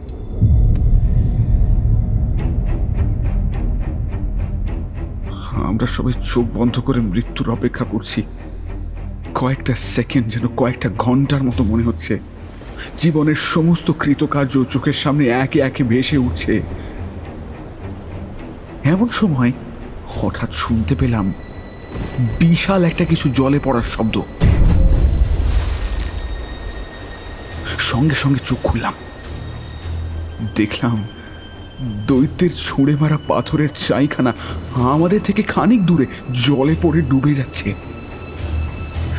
নেহাত পরাতের জোর একটুর জন্য বেঁচে গিয়েছি। আমরা আমাদের সর্বশক্তি দিয়ে জল ঠেলে এগিয়ে চলছি। এমন সময় ওদিকে আবারও এক বিশাল পাথর ছুঁড়েছে সেই দানব। এইবার সেটা ভেলার একদিকের কানায় লেগে জলে ডুবে গেল। সঙ্গে সঙ্গেই আমাদের দুটি লোক প্রাণ হারালো। তবু অল্পের উপর দিয়ে ফাঁড়া কেটে গেল। এর পরেও অবশ্য আরও কয়েকটা পাথরের চাই ছুঁড়েছিল সে, কিন্তু ততক্ষণে আমাদের ভেলা তার নাগালের বাইরে চলে গিয়েছে। ভগবানের দোয়ায় হাওয়া অনুকূল, মাঝ সমুদ্রের দিকে ভেসে চলেছি আমরা। আমাদের একমাত্র ভরসা একটা নড়বড়ে কাঠের ভেলা। জানি না অদৃষ্টে কি লেখা আছে, তবে এটুকু নিশ্চিত। যাই হয়ে যাক। সিনবাদ নাবিক পিছু হটবার বান্দা নয়।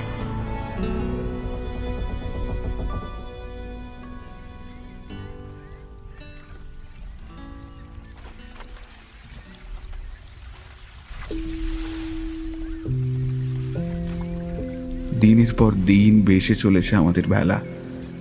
কত ক্রোশ, কত মাইল জলপথ যে আমরা অসহায়ের মতো অতিক্রম করলাম। অর্থা নেই। কেবলই নিঃসীম নিঃশেষ জলরাশির মধ্যে দিয়ে ভেসে চলা আর দাঁড় পাওয়া কত রাত যায়, কত দিন যায়, কিন্তু পথ যেন আর শেষ হয় না। না কোনো জাহাজের দেখা মেলে, না দেখা পাই কোনো স্থলভাগের নিদেন পক্ষে এক হাতটা দ্বীপও চোখে পড়ল না আমাদের। পথের মধ্যেই কতজন অসুস্থ হলো। কেউ কেউ একাই সেরে উঠল। আবার কেউ মাছ দরিয়ায় প্রাণ হারালো। সেই মৃত সদাগারদের দেহ আমরা নোনতা জলেই ভাসিয়ে দিলাম। সত্যি বলতে কি, তাদের মৃত্যুতে চোখের কোণে জল জমলেও মনের কয়েক মুহূর্ত আনন্দ যে হয়নি তেমনটা নয়। একজন সহযাত্রী মারা গেলে তার জন্য বরাদ্দ খাবারের অবশিষ্ট সদাগারদের যে আরও একটা দিন কেটে যাবে, এটা ভেবেই মুহূর্তের জন্য আনন্দ হচ্ছিল।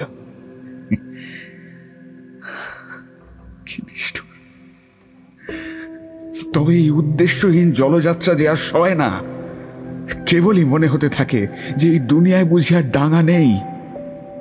যা কিছু স্থলভাগ ছিল, সবই ওই করাল সমুদ্র গ্রাস করেছে। এতদিন শুধু এটুকু আশ্বাস ছিল যে, অন্তত না খেয়ে মরতে হবে না, কিন্তু এবার যে সেইটুকু ভরসাও আর রইল না, একসময় বোঝাই করা ফলমূল শেষ হয়ে গেল। এদিকে সমুদ্রের নোনা জল পানের অযোগ্য। এতদিন ওই ফলমূল খেয়েই জলের তেষ্টা আর খিদে নিবারণ করতাম। কিন্তু সেগুলো শেষ হয়ে যাওয়াতে নাকাল হতে শুরু করলাম। একে অপরের দিকে তাকাতে পারি না। সবাই কেমন কঙ্কাল সার হয়ে উঠেছি। হঠাৎ দেখলে মনে হয় যেন কোনো মৃত প্রেত পিসাচের দল বেলায় চড়ে নীল সমুদ্রে অনন্ত আসমানের তলায় ভেসে চলেছে। রাতের কালো আসমানে চাঁদ তারা গুনি দিনের বেলায় ঢেউ গুণের সময় কাটায়। নোনতা জলের প্রচণ্ড আঘাতে ধীরে ধীরে কাঠের বেলাটাও কেমন দুর্বল হয়ে এসেছে। ভয় হয়। হঠাৎ কোনো দমকা ঢেউয়ের তোরে পুরো ভেলাটাই না ছিন্ন বিচ্ছিন্ন হয়ে যায়। সাথী সদাগরের আমায় প্রশ্ন করে। বলে জনাব, কবে ডাঙার দেখা পাবো বলতে পারো? বুঝতে পারি না তাদের কি জবাব দেব। কোনো মতে তাদের আশ্বস্ত করার জন্য বলি, সবুর করো। সবুর করো। ভগবান নিশ্চয়ই আমাদের জন্য ভালো কিছু ভেবে রেখেছেন। পরীক্ষা দেওয়ার জন্যই তো আমাদের এই মানুষ জন্ম। তাই না? বিপদের ভয় পিছিয়ে গেলে সদাগারের জীবন বেছে নেওয়া কেন? তাহলে তো ওই ডাঙার আরাম স্বাচ্ছন্দ্যই শ্রেয় ছিল হ্যাঁ? তারা আমার কথায় আশ্বস্ত হয় কিনা বুঝতে পারি না। এমনকি নিজে এই কথাগুলো সম্পূর্ণভাবে বিশ্বাস করতে পারছি কিনা, তাও আন্দাজ করতে পারি না। ধীরে ধীরে মনের সাহস, দেহের বল সবই বিদায় জানাচ্ছে। যে কজন সদাগার কোনো রকমে ভাগ্যের সাথে লড়াই করছিলাম, তারাও একে একে হুলুক ত্যাগ করতে শুরু করল। শেষে এমন হলো যে ওই ভেলাটায় আমরা আর হাতে গোনা জোনাচারেক মাত্র লোক পড়ে রইলাম।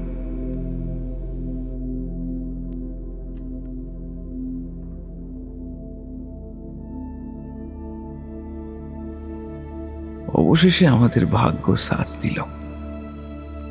হঠাৎ একদিন একদিন সকালবেলা, বহু দূরে, একটা জাহাজের মাস্তুল চোখে পড়ল।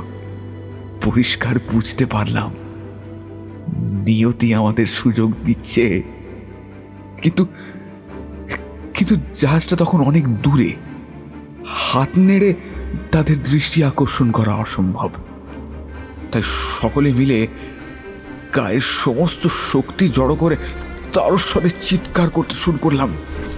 বাঁচাও! বাঁচাও! শুন, শুনতে পাচ্ছ? এই যে এই যে এখানে! বাঁচাও! কিন্তু না, কোনো কাজ হলো না।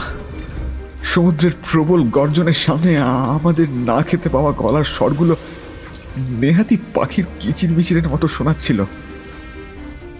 অনেক ভেবে একটা মতলব বের করলাম আমরা।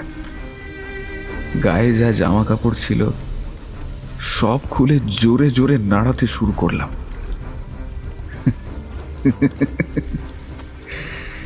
এইবার কাজ হলো। বুঝলাম, ওরা আমাদের জামা কাপড় নাড়া দেখতে পেয়েছে। জাহাজের মুখ ঘুরিয়ে ধীরে ধীরে ওরা আমাদের কাছে এসে পৌঁছলো। তারপর তারপর আমাদেরকে তুলে নিল নিজেদের জাহাজে।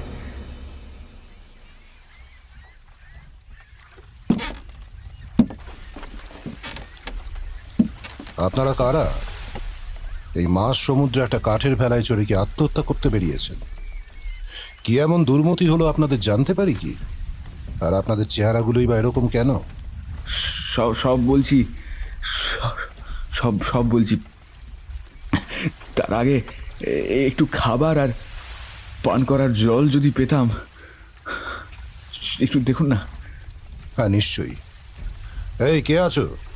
ওনাদের একটু ভালো খাবার আর জল দাও। ওরা আমাদের নতুন সাজ পোশাক দিল খাবার দাবার দিল। আমরা আবার নতুন জীবন ফিরে পেলাম। জাহাজের ক্যাপ্টেন ও খালাসিদের আমাদের এই বিচিত্র অভিজ্ঞতার কাহিনী বললাম। সে কাহিনী শুনতে শুনতে তারাও আমার দুঃসাহসিকতার তারিফ করল।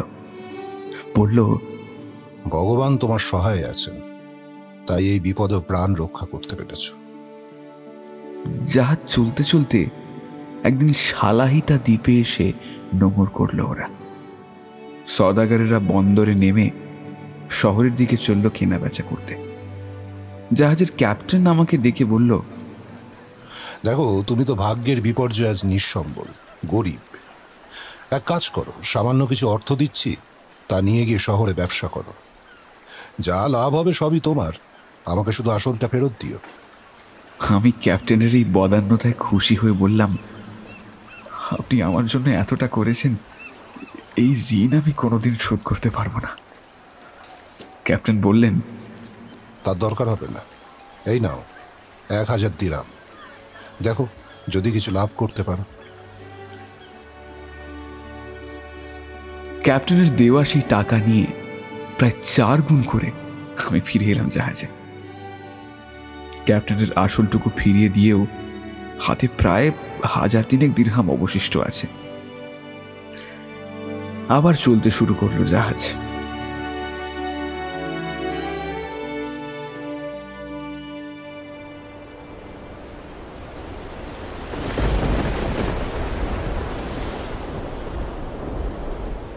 একদিন রাতে নিজের কেবিনে ঘুমিয়ে আছি।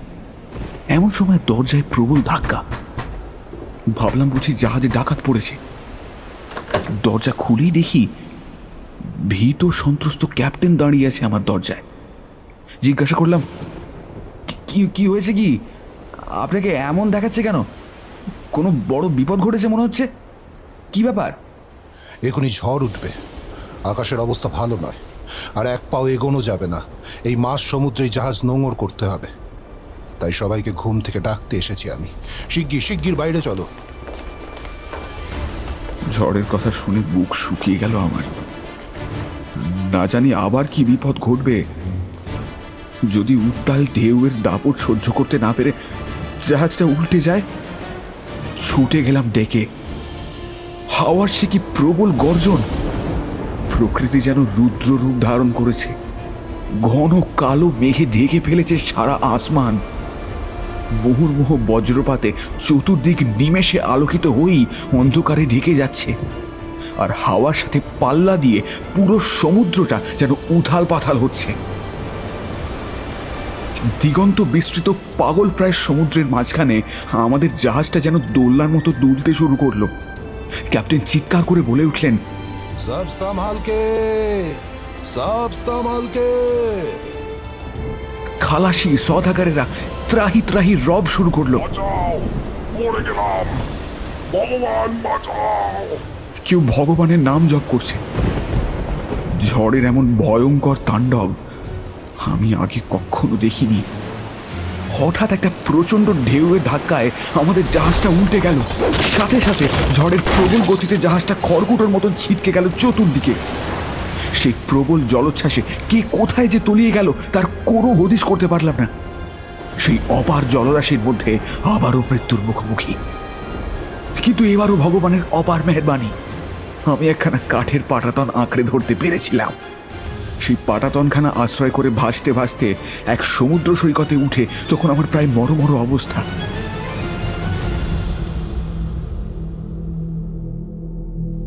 হিমের মতো ঠান্ডা জলে সারা শরীর সিঁটিয়ে গিয়েছে আমার।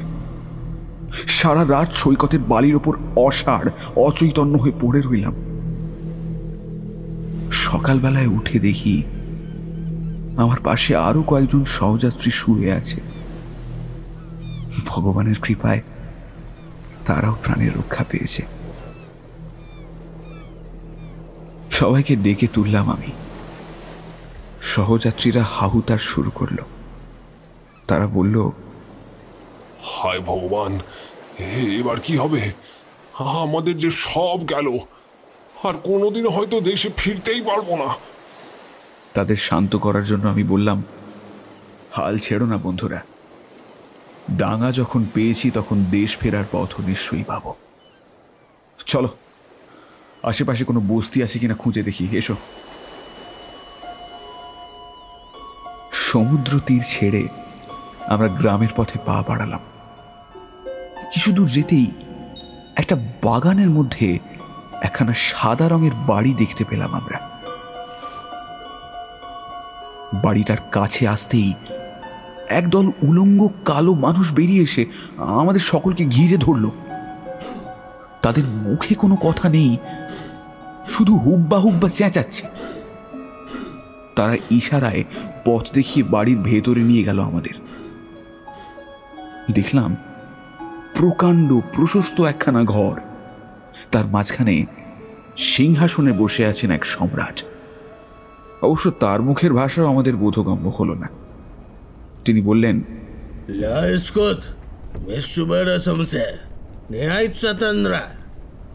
এই কথার মর্মার্থ যে কি তা বোঝার ক্ষমতা আমাদের নেই। তবে ওর হাতের ইশারায় বুঝলাম যে তিনি আমাদের বসতে হুকুম করেছেন। একটু পর বড় বড় বার কোষে বোঝাই করে খাবার এলো। খাবার বলতে এক অদ্ভুত ধরনের মাংস। এ ধরনের মাংস আমি জীবনে কখনো দেখিনি। মাংসের এমন চেহারা দেখেই আমার খিদে তৃষ্ণা উবে গেল। কিন্তু আমার সঙ্গীরা খিদের জ্বালায় সেই মাংসই গোগ্রাসে গিলতে লাগল। জাহাজ ডোবার পর থেকে অবশ্য কারোরই খাওয়া দাওয়া হয়নি। খিদে পেট চোঁ করে জ্বলছিল। তাই আর কোনো দিকে দৃকপাত না করে গোটা বারকোষটাই সাবার করে দিল তারা। ওদের ওই রাক্ষসের মতো খাওয়া দেখে আমার গাটা কেমন গুলিয়ে উঠল। খেয়ে দিয়ে সঙ্গীরা ঢেঁকুর তুলতে শুরু করল। ভুঁড়ি ভোজের খাবার বলে কথা, আমি কিন্তু নিরম্ব উপবাসী হয়েই রইলাম। না না, মরে গেলে ওই আজব খানা আমার মুখে উঠবে না। তবে খানা পিনার ব্যাপারে আমার এই খুঁতখুঁতে বাই। সেই যাত্রায় আমাকে বাঁচিয়ে দিয়েছিল। প্রথম থেকেই এদের হাবভাব সম্পর্কে আমার মনে একটা সন্দেহ তৈরি হয়েছিল। তাই সেই রাতে লুকিয়ে প্রাসাদ পরিভ্রমণে বের হলাম। যা কিছু দেখলাম, তাতে আমার সারা শরীরের লোম খাড়া হয়ে উঠল। কিছুক্ষণের মধ্যেই আমি বেশ বুঝতে পারলাম এই উলঙ্গ হাবসি লোকগুলো আসলে নরখাদক তাদের ওই সম্রাট, সেও বেটা নরখাদক তবে ওদের হাতে কোনো মানুষ ধরা পড়ার সঙ্গে সঙ্গেই ওরা তাকে খায় না। দেহে চর্বি না গজালে নাকি মানুষের স্বাদ হয় না। তাই প্রথমে সেই লোকটাকে কিছুদিন ধরে খাইয়ে দাইয়ে বেশ মোটা সোটা নাদুস করে তোলে। আদর যত্ন করে, মেহমানদের একেবারেই মেহনত করতে দেয় না। মোট কথা বড় তোয়াজে রাখে।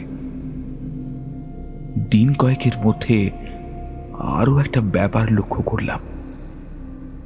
যেসব মানুষ ধরা পড়ে, তাদের মধ্যে মোটা সোটা তাগড়াইগুলো থাকে সম্রাটের জন্য। বাকিগুলো খায় ওই উলঙ্গ হাবসিরা এদিকে হাবসিগুলো কাঁচা মাংস খেতেই বেশি ভালোবাসে। কিন্তু তাদের সম্রাটের বিলাসিতা অনেক। তিনি মাংস না পুড়িয়ে খান না। তার খানা পাকাবার কায়দাই আলাদা। বিরাট বিরাট মানুষ সমান চুল্লিতে কাঠ দিয়ে আগুন জ্বালানো হয়। দাউ দাউ করে জ্বলতে থাকা আগুনে কাঠগুলো পুড়ে যখন গনগনে আঙ্গার হতে থাকে, সেই সময় জ্যান্ত একটা মানুষের সর্বাঙ্গে তেল ও নানা রকম মশলা মালিশ করা হয়। তারপর মানুষটা যখন লঙ্কার ঝালে ত্রাহি ত্রাহি ডাক ছাড়তে থাকে, তখন হাফসিরা বুঝতে পারে মশলায় সে জারিত হয়ে গিয়েছে। এরপর তাকে চুল্লির নিচে নামিয়ে দেয়। লোকটা যখন আধ পোড়া হয়ে আসে, তখন তারা তাকে শিকে গেঁথে ওপরে উঠিয়ে নিয়ে আসে। তারপর টুকরো টুকরো করে কেটে সম্রাটের সামনে ভোগ নিবেদন করে। আমি ওদের ইশারাতে বুঝতে পেরেছি, এই নরমাংসের কাবাবের স্বাদই নাকি আলাদা। একবার যে খেয়েছে, তার মুখে মোর্গ মাসাল্লাম নাকি পানসে লাগবে। এই সব জানার পর থেকে খিদে কি তাই ভুলে গেলাম। শুধু পানি খেয়ে প্রাণ ধারণ করতে লাগলাম আমি। উলঙ্গ হাবসিরা আমাদের সকলকে রাখালের হেফাজতে রেখে বলল জিয়ারুস পারতানে নাবিল আছেন। বদ্রুপুস জিন্তা আকাশ। হাবে ভাবে বুঝতে পারলাম। তারা বলতে চাইছে খুব সাবধানে চোখে চোখে রাখবি। আর খুব ভালো করে খাওয়াবি। দু চার দিনের মধ্যেই যেন মোটা সোটা নাদুস নুদুস হয়ে ওঠে সব কটা রাখাল আমাদের বনে জঙ্গলে নিয়ে যায়। গাছের ফল পেড়ে এনে দেয়। ফসলের সুঁটি, রসালো আখ খাইয়ে পেট একেবারে ডাঁই করে দেয় আমাদের সঙ্গীদের। কিন্তু আমি কিচ্ছু খাই না। ফলে দিনে দিনে রোগা থেকে আরও রোগা হয়ে যেতে থাকে আমার শরীর। শেষে এমনটা হলো যে গায়ে বল পাই না। শরীরের হাড় গোড় সব বেরিয়ে এলো। হাবসিগুলো ভাবলো, এই লোকটা একটা আপদ। এক ফোঁটা মাংস লাগছে না গায়ে। উল্টে আরও শুকিয়ে চেলা কাঠ হয়ে যাচ্ছে। একে সম্রাট কেন? ওর সাগরেদরাই খেতে চাইবে না বেটাকে।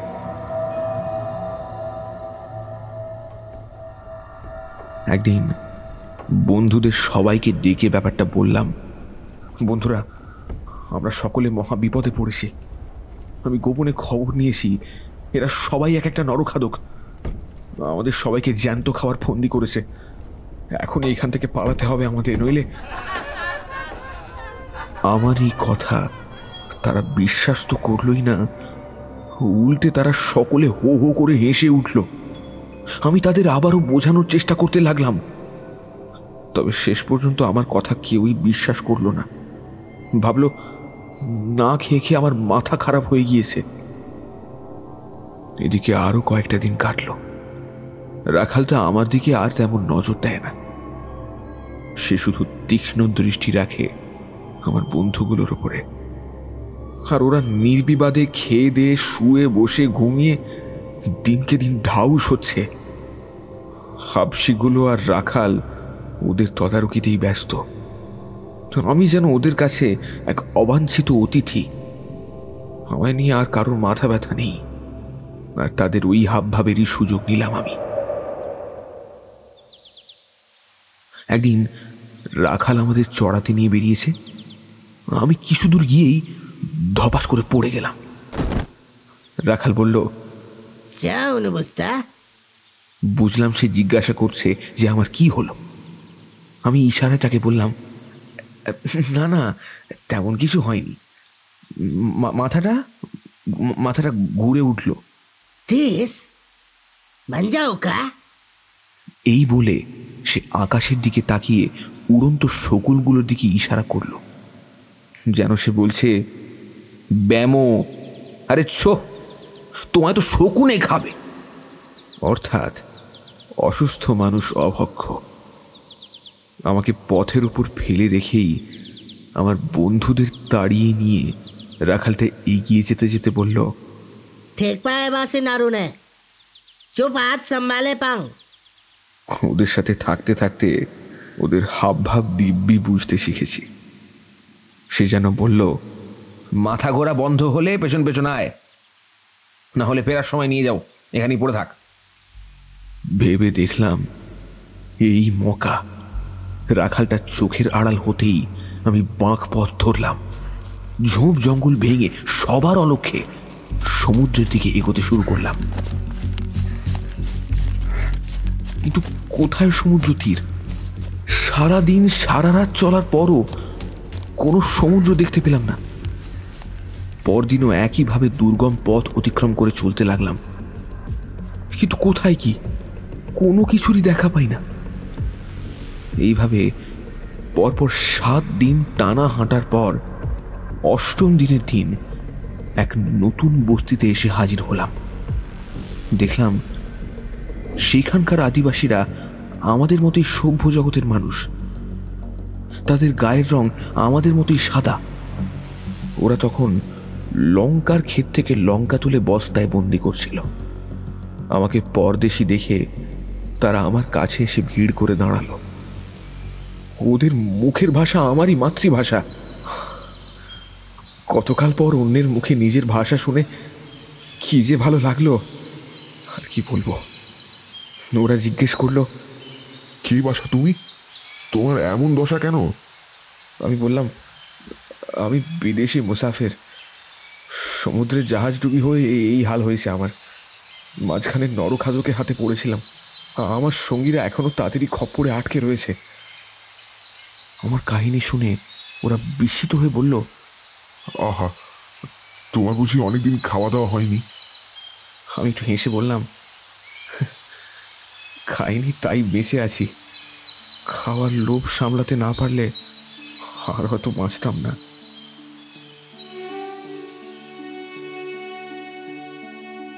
সেই আজনাবিরা আমাকে ওদের ঘরে নিয়ে গেল।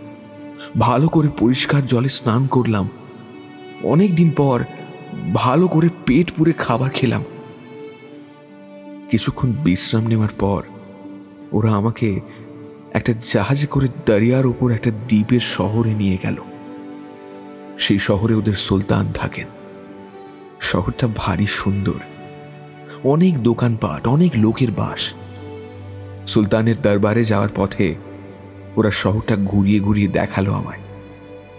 আমাদের বাগদাদের মতোই নানা রকম বাহারি জিনিসপত্র পাওয়া যায় সেখানকার বাজারে। পথঘাটগুলো বেশ চওড়া। তাগড়াই ঘোড়া, উট, গাধা, খচ্চর সবই দেখলাম। কিন্তু একটা অবাক করা জিনিস লক্ষ্য করলাম। সেখানকার সাওয়ারিরা জিন লাগাম ছাড়াই ঘোড়ার পিঠে চেপে চলেছে। সুলতানের দরবারে আমাকে হাজির করা হলো। যথাবিহিত কুর্নিশ জানিয়ে আমি জিজ্ঞাসা করলাম, জাফনা, আপনাদের দেশ দেখে আমি মুগ্ধ হয়ে গিয়েছি। কিন্তু একটা জিনিস কিছুতেই বুঝতে পারছি না। এ- এখানকার লোকেরা জিন লাগাম না লাগিয়েই ঘোড়ার পিঠে চড়ে কেন? আসলে জিন লাগাম শুধু আরামদায়কই নয়, দেখতেও ভারী সুন্দর। সুলতান অবাক হন। তিনি বলেন জিন লাগাম আবার কি? সে আবার কেমন ধরনের জিনিস? আমার বাপ চোদ্দ পুরুষ তো কখনো এমন জিনিসের নামও শোনেনি। বললাম আপনি যদি হুকুম করেন আমি আপনাকে বানিয়ে দেখাতে পারি। তারপর বুঝবেন কত সুন্দর কত সুখের শখের আর দরকারি জিনিস এই জিনার লাগাম। বেশ তো করে দেখাও। যদি খুশি করতে পারো তোমাকেও আমি খুশি করে দেব।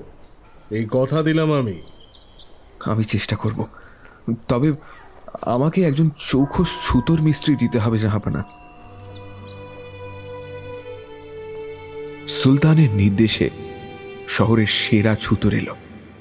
আমি তাকে নকশা এঁকে বোঝালাম, ঠিক কি জিনিস বানাতে চাই। লোকটা কাঠের কাজে ওস্তাদ। যেমনটি আমি চাই, একেবারে নিখুঁত সেই রকম একখানা কাঠের জিন বানিয়ে দিল সে। এবার আমি ধনুড়িকে দিয়ে জিনের মাপের একখানা বাহারি গদি তৈরি করলাম। সোনার জড়িতে কাজ করা নানা বর্ণের এই গদি কাঠের জিনের উপর এঁটে বসিয়ে দিলাম। এরপর এক দক্ষ কামারের সহায়তায় বানালাম একজোড়া লাগাম আর রেকাবি।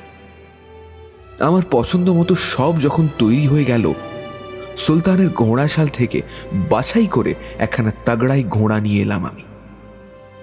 সেই নতুন জিন লাগাম তার পিঠে চাপিয়ে নিয়ে এলাম সুলতানের সামনে। সুলতান কয়েকদিন ধরে রোজই আমার কাজের খোঁজ খবর নিচ্ছিলেন। নতুন এই জিনিসটি দেখার আগ্রহে তিনি অধীর হয়েছিলেন। ঘোড়ার যে এমন মনোহর সাজ হতে পারে, সুলতান তা আগে ভাবতেও পারেননি। খুশিতে ডগমগ হয়ে উঠলেন তিনি। আর তার তর সইল না। তক্ষুনি লাফিয়ে উঠে বসলেন ঘোড়ার পিঠে। বললেন ওয়াহ সুভান আল্লাহ বহুত তো। হুম খুব আরাম। সুলতান আমাকে প্রচুর ইনাম প্রচুর বকশিস দিলেন। উজির আমাকে বলল তোফা জিনিস আমাকেও একখানা বানিয়ে দাও। তাকেও একটা তৈরি করে দিলাম। সেও আমাকে অনেক পয়সা করে উপহার দিল। এরপর দরবারের আমির ওমরা সেনাপতি একে একে সবাই ফরমাইশ করতে লাগল। সবাইকেই বানিয়ে দিলাম লাগাম জিন বিনিময়ে পেলাম প্রচুর অর্থ। অল্প সময়ের মধ্যেই সেই শহরের এক সেরা ধনী এবং মান্যগণ্য মানুষ হয়ে উঠলাম আমি। সুলতান আমাকে বহুত খাতির যত্ন করতে লাগলেন। আমি তার পেলা পেয়ারের মানুষ হয়ে গেলাম। একদিন দরবারে আমি তার পাশে বসে আছি। সুলতান আমার কানের সামনে মুখ নামিয়ে এনে বললেন সিনবাদ তুমি কি জানো আমি তোমাকে কত ভালোবাসি? তুমি তো আমার প্রাসাদের, আমার পরিবারেরই একজন হয়ে গেছো। তোমাকে ছাড়া আমার আর এক দণ্ড চলবে না। তোমার পরামর্শ ছাড়া কোনো কাজও করতে পারি না আজকাল। সুতরাং আমার এই মায়াবন্ধন ছিঁড়ে ফেলে যে দেশে পালাবে, সে আমি হতে দিতে পারব না, সিনবাদ। এই কারণেই আমি তোমাকে কঠিন বাঁধনে বাঁধতে চাই। আমি বললাম, আদেশ করুন ঝাপনা। আপনার আদেশ আমার শিরোধার্য। আজ যে আমার এই ধন, দৌলত, ইজ্জত, সবই তো আপনার মেহরবানিতে। সুতরাং আপনি যা হুকুম করবেন আমি তা মাথা পেতে নেব। সুলতান বললেন তাহলে তুমি আমার প্রাসাদের এক পরমা সুন্দরী মেয়েকে শাদি করে এখানেই পাকাপাকিভাবে সংসার পাতো। মেয়েটির রূপে গুণে অসাধারণ। সারা দেশে তার জুড়ি খুঁজে পাবে না। আমার বিশ্বাস সে তোমাকে সুখ শান্তি দুই দিতে পারবে। লজ্জায় আমি মাথা নিচু করে বসে থাকি। ভেবে পাই না কি জবাব দেব আর কিভাবেই বা দেব।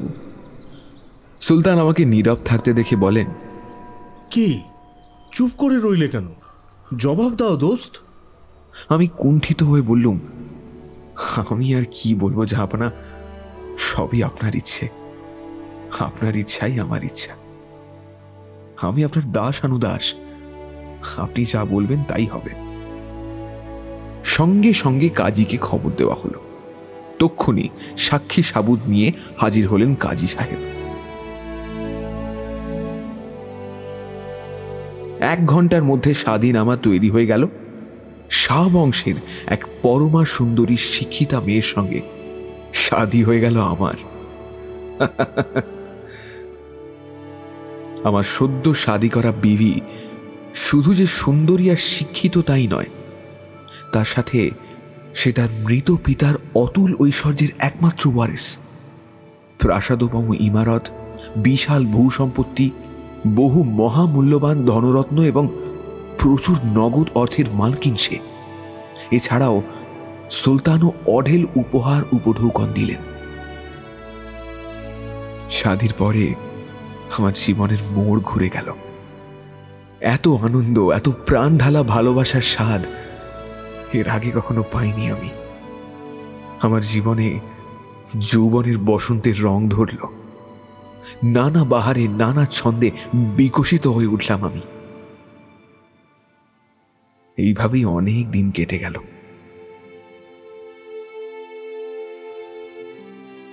যদিও সুলতানের কাছে আমি অঙ্গীকারবদ্ধ, তবুও অন্তরে অতি সঙ্গোপনে এক খেয়াল আমি লালন করে চলেছি। একদিন আমার বিবিকে সঙ্গে করে নিয়ে আমি আমার জন্মভূমি বাগদাদে ফিরে যাব। কিন্তু হায় ভগবান, মানুষ তার নিয়তিকে এড়াতে পারে না। তার ভবিতব্য কি তাও সে জানতে পারে না। নিয়তির হাতে সে খেলার পুতুল মাত্র। নিয়তির ইশারায় নাচা ছাড়া আর উপায় নেই।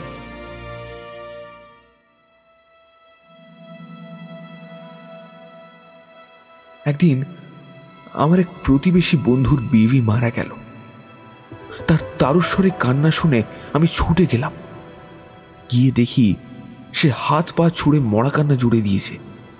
চিৎকার করে কেবলই বলে চলেছে, হায় হায় হায় এই আমার কি হয়ে গেল? তাকে বোঝানোর চেষ্টা করলাম। কিন্তু আমার কোনো সান্ত্বনাই তার কান্না থামাতে পারল না।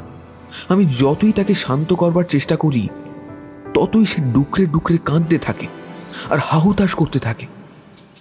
আমি তাকে বলি, দেখো হোসেন মিয়া, বিবি কি কারও চিরকাল বেঁচে থাকে?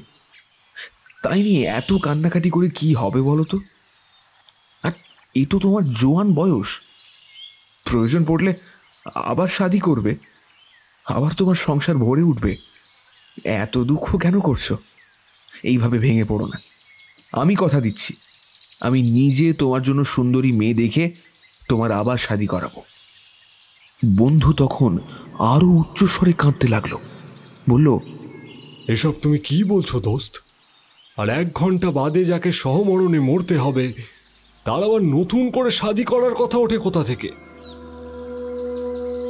আমি তার কথার মাথা মুন্ডু কিছুই বুঝতে না পেরে অবাক বিস্ময়ে জিজ্ঞাসা করলাম "তা- তার মানে? এক ঘণ্টা বাদে মরতে যাবে কেন খামোখা? আর এই সহমরণ মানেটাই বা কি? আমাকে অবাক হতে দেখে বন্ধুবর বলল সে কি? তুমি জানো না আমাদের দেশের আইন কানুন? এদেশের স্বামী বা বিবি যেই আগে মরুক তার সহমরণেই অন্যজনকে মরতে হবে। তা সে যদি স্বয়ং সুলতান হন তাও তার রেহাই নেই। আমি আঁতকে উঠে বললাম সর্বনাশ। এমন জানলে কে শাদি করতো এই মরা দেশে? এখন আমার বিবি যদি মারা যায়, তবে তো আমাকেও মরতে হবে। এই আবার কেমন কথা? কিন্তু আমি তো পরদেশি। এদেশের আইন কানুন আমার ঘাড়ে চাপাবে কেন? বলতে পারো দোস্ত, তোমাদের এই দেশের বদ আইন আমার বেলাতে কেন খাটবে? আল বাদ খাটবে। এদেশে যে বাস করছে, তাকে এই দেশটির সমস্ত আইন মানতেই হবে। এতক্ষণে বুঝতে পারলাম। বন্ধুর কান্নার আসল কারণটা কি? বিভি মারা যাওয়ার জন্য তার বিশেষ শোকতাপ নেই। নিজেকে মরতে হবে সেই আতঙ্কেই সে সাবার হচ্ছে। যাই হোক, বিপদের দিনে বন্ধুর পাশে দাঁড়ানো দরকার তাই এই অন্তিম যাত্রায় দুফোঁটা চোখের জল ফেলাও তো আমার কর্তব্য। পাড়া প্রতিবেশীরা অনেকেই এলেন। যথা নিয়মে মৃতদেহকে নিয়ে বয়ে চলল কিছু লোক। তার পেছন পেছন আমার বন্ধু কাঁদতে কাঁদতে চলল। আমরা সবাই তাদের অনুসরণ করলাম। তার চোখেও জল, আমার চোখেও জল। সমবেদনার অশ্রু আর কি।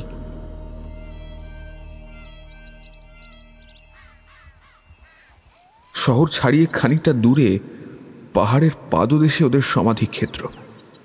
সমাধিক্ষেত্র বলা বোধ হয় ঠিক না। একটা প্রকাণ্ড বড় কুয়ো। তারা সব দেহটা সেই কুয়োর নিচে নামিয়ে দেয়। তারপর যাকে সহমরণে পাঠানো হবে, তার পিঠে সাতখানা রুটি, এক কলসি জল আর হাতে দড়ি বেঁধে সেই ইদারার নিচে নামিয়ে দেওয়া হয়। লোকটি কুয়োর তলার মাটি স্পর্শ করার পর ওপর থেকে বলা হয়, এইবার হাতের বাঁধন খুলে দড়ি ছেড়ে দাও। আর সেই হতভাগা তখন দড়ির বাঁধন খুলে দেয়। তারপর সবাই দড়িটা তুলে নিয়ে ইঁদারার মুখে একটা বড় পাথর চাপা দিয়ে ফিরে যায়। বেচারি সাতটা রুটি খেয়ে যতদিন বাঁচতে পারে ততদিন বাঁচে। তারপর অনাহারে আতঙ্কে একদিন মরে ভূত হয়ে যায়।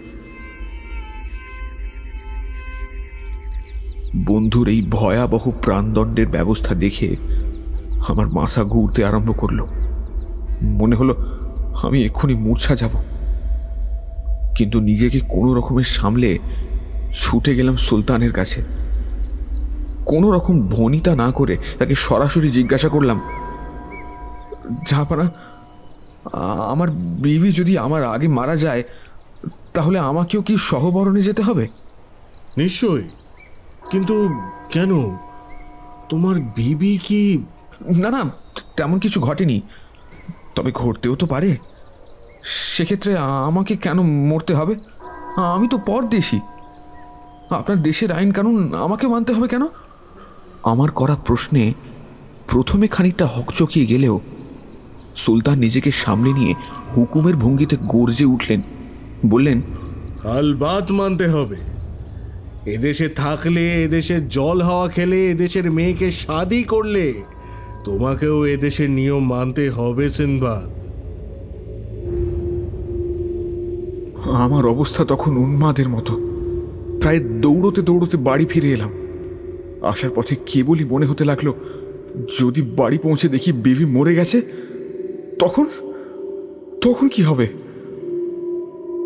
শহরের প্রতিটা মানুষ আমাকে ভালোবাসে। আমার শোকে তারা সান্ত্বনা দিতে আসবে। আমার বিরাট প্রাসাদে তিল ধরানোর জায়গা থাকবে না। লোকে লোকারণ্য হয়ে যাবে। তারপর সব যাত্রায় সঙ্গী হতে আসবেন সুলতান উজি রামি সেনাপতি, সবাই। এদের চোখে ধুলো দিয়ে পালানো যাবে না। শেষে বেঘরে প্রাণটা হারাতে হবে। কিন্তু বাড়ি ফিরে দেখলাম তেমন কিছু হয়নি। আমার বিবি বহাল তবিয়তেই রয়েছে। ধরে প্রাণ এলো। তবে কথায় আছে, খোদার মার দুনিয়ার বার। দেখতে দেখতে কয়েক মাসের মধ্যেই আমার বিবিকে ব্যায়াম হয়ে ধরল। শরীর থাকলেই অসুখ বিসুখ হয়, তাই নিয়ে আতঙ্কিত হওয়ার কিছু নেই। এই বলে মনকে প্রবোধ দিলাম। কিন্তু নসিব খারাপ। কয়েকদিন যেতে না যেতেই বেবিজানের অসুখ বেড়ে চলল। আমি ঘর পোড়া গরু সিঁদুরে মেঘ দেখলেই ডরাই।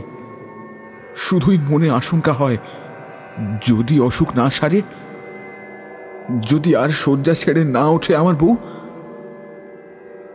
আর জানেন তো, যেখানে বাঘের ভয় সেখানেই সন্ধে হয়। সত্যি সে আর শয্যা ছেড়ে উঠল না। খোদা তাকে তুলে নিলেন। আমার অবস্থা তখন নিশ্চয়ই আঁচ করতে পারছেন আপনারা। কোরবানির খাসির মতো গলা বাড়িয়ে দিতে হবে ভেবে আমি শিউরে উঠলাম। পালাবো যে সে পথ নেই। আমার অগণিত শুভানুধ্যায়ীরা পিল পিল করে এসে আমার প্রাসাদ ভরিয়ে ফেলল। সুলতানের প্রাসাদেও খবর গেল। কিছুক্ষণের মধ্যেই সে তার দল বল নিয়ে সান্ত্বনা জানাতে এলো আমাকে। সে ভেজা ভেজা চোখে বলল বিধাতার বিধান তো মেনে নিতেই হবে, বাবা। এই সংসারের মায়া, মহব্বত সব কাটিয়ে তোমাকে আজ তার দোষর হতে হবে। আমাদের শাস্ত্রেরও এই বিধান, এবং এর চেয়ে বেশি পুণ্য আর কিচ্ছুতে নেই। হাসি মুখে তোমার বিবির অনুগামী হও। মন থেকে পার্থিব কামনা বাসনা সব মুক্ত করো। দেখবে তখন এই পার্থিব জগতে থাকতে আর মন চাইবে না তোমার। সুলতানের এইসব প্রবোধ বাক্য আমার তখন অসহ্য লাগছিল। আজ এই লোকটার জন্যই আমার এই দশা। অযথা একটা মেয়েকে গছিয়ে দিলে তুমি? হারাম যারা সব খোলসা করে বলেনি আমায়। এই পোড়া দেশে এরকম বর্বর আইন কানুন আছে, সে কথা আগে জানলে কে সেদে হাঁড়ি কাটে মাথা গলাতো? ঘরের ছেলে ঘরে ফিরে যেতাম। এই সুলতান বাটাই আমাকে আটকালো। বলে কিনা আমি তোমাকে ছাড়বো না। তোমাকে আমি পেয়ার করি। আমাকে ছেড়ে চলে গেলে আমি প্রাণে বাঁচবো না। তুমি এখানে শাদি করে সংসার পাতো। তখন কি আর সেই বুঝেছিলাম?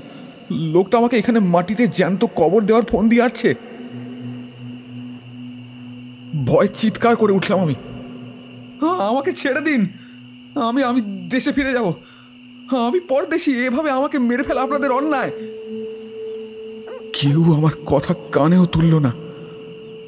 আমার বিবির সব দেহ সাদি সাজে সাজানো হলো। দামি দামি রত্নে মুড়ে দেওয়া হলো তার সারা শরীর। তারপর একখানা সাদা কাপড়ের আচ্ছাদনে ঢেকে সব দেহটা কাঁধে তুলে নিল কয়েকজন। সব মিছিলের পুরোভাগে আমার মৃত বিবি, তার পেছনে আমি। আর আমার পেছনে সুলতান, তারপর উজি রামির এবং অগণিত শুভানুধ্যায়ী ধীর পদক্ষেপে আমরা এগিয়ে চললাম সেই মরণ ক্ষেত্রের দিকে। জায়গাটা সমুদ্রের কাছে, এক পাহাড়ের পাদদেশে। এক এক করে সেই কুয়োর কাছে এসে দাঁড়ালাম আমরা সবাই। সব দেহ নিচে নামানো হলো। মন্ত্রপাঠ ও আচার আচরণ শেষ হওয়ার পর আমার বিবির মৃতদেহ সেই কুয়োর মধ্যে নামিয়ে দেওয়া হলো। তারপর একটা কলসিতে জল ভরে সঙ্গে সাতখানা রুটি আমার পিঠে বেঁধে দেওয়া হলো। এবার আমি ডুকরে কেঁদে উঠলাম। দোহাই আপনাদের দোহাই আপনাদের, আমায় ছেড়ে দিন, আমায় ছেড়ে দিন। কিন্তু কেউ কথা শুনল না। আমার হাতে দড়ির ফাঁস পরিয়ে দিল কয়েকজন মিলে। তারপর জোর জবরদস্তি নামিয়ে দিল সেই মরণ কূপে উপর থেকে চিৎকার শোনা গেল। হাঁসটা খুলে দড়িটা ছেড়ে দাও। আমি ওদের কথা শুনলাম না। ঠিক করলাম আমি দড়ি ছাড়বো না। কিছুতেই না। না না না আমি দড়ি ছাড়বো না। বারবার হুকুম করতে লাগল তারা। কি হলো? দেরি করো না। দড়ি না ছাড়লে আমরা ফিরতে পারছি না। তবু আমি ওদের কথা শুনলাম না। শেষে দড়ির আশা ছেড়ে কুয়োর মুখ পাথর চাপা দিয়ে ওরা চলে গেল।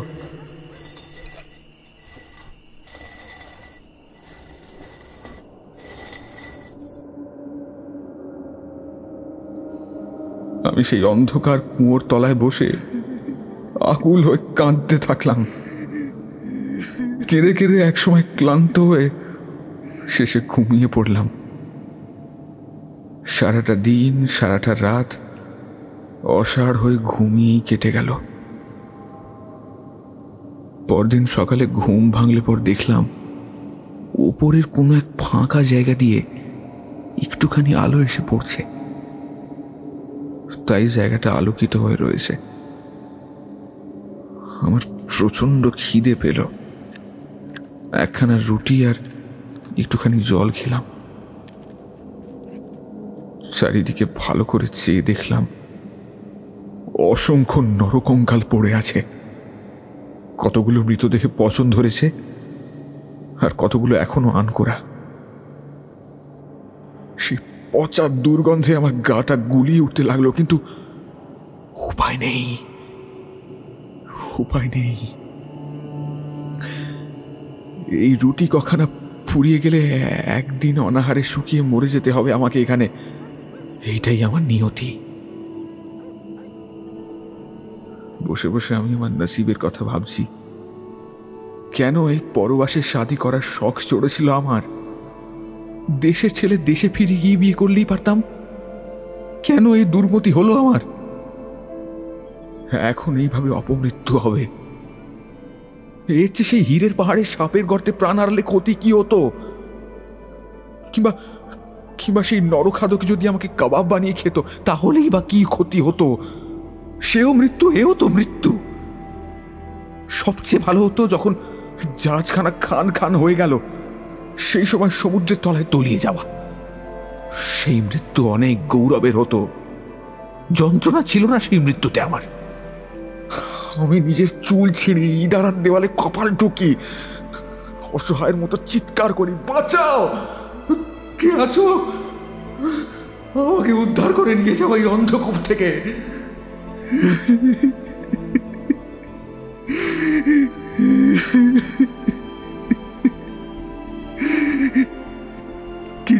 কে শুনে আমার এই আকুল আবেদন? আমার সেই বন্ধুর কথা মনে পড়ল। তারও নিশ্চয়ই এইভাবেই যন্ত্রণা পেয়ে মৃত্যু হয়েছিল। আমার দুশো খাবারও জলে ভরে গেল।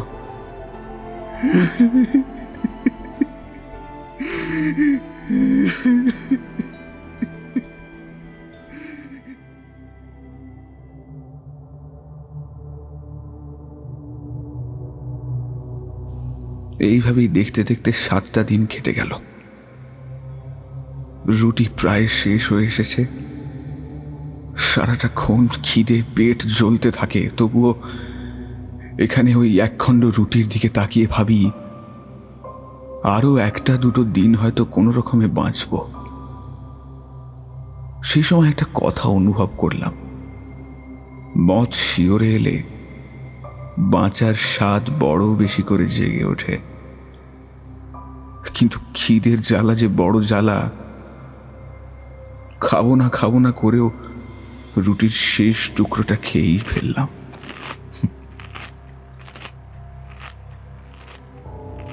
এরপর আরও দুদিন কেটে গেল। এবার নিশ্চিত মৃত্যু।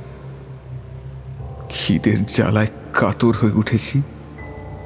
ঘুমাতেও পারছি না না পারছি বসে থাকতে। বুঝতে পারলাম। মৃত্যু আমাকে হাত ছানি দিয়ে ডাকছে। এখানে রাত হলেই মাঝে মাঝে কেমন যেন শব্দ শুনতে পাই। যেন আরও কেউ রয়েছে আমার সাথে। কিন্তু আদতে যারা রয়েছে, তারা তো সবাই নরকঙ্কাল। না না না। আমি বোধহয় উন্মাদ হয়ে উঠছি। খিদে তৃষ্ণা আমাকে পাগল করে তুলছে।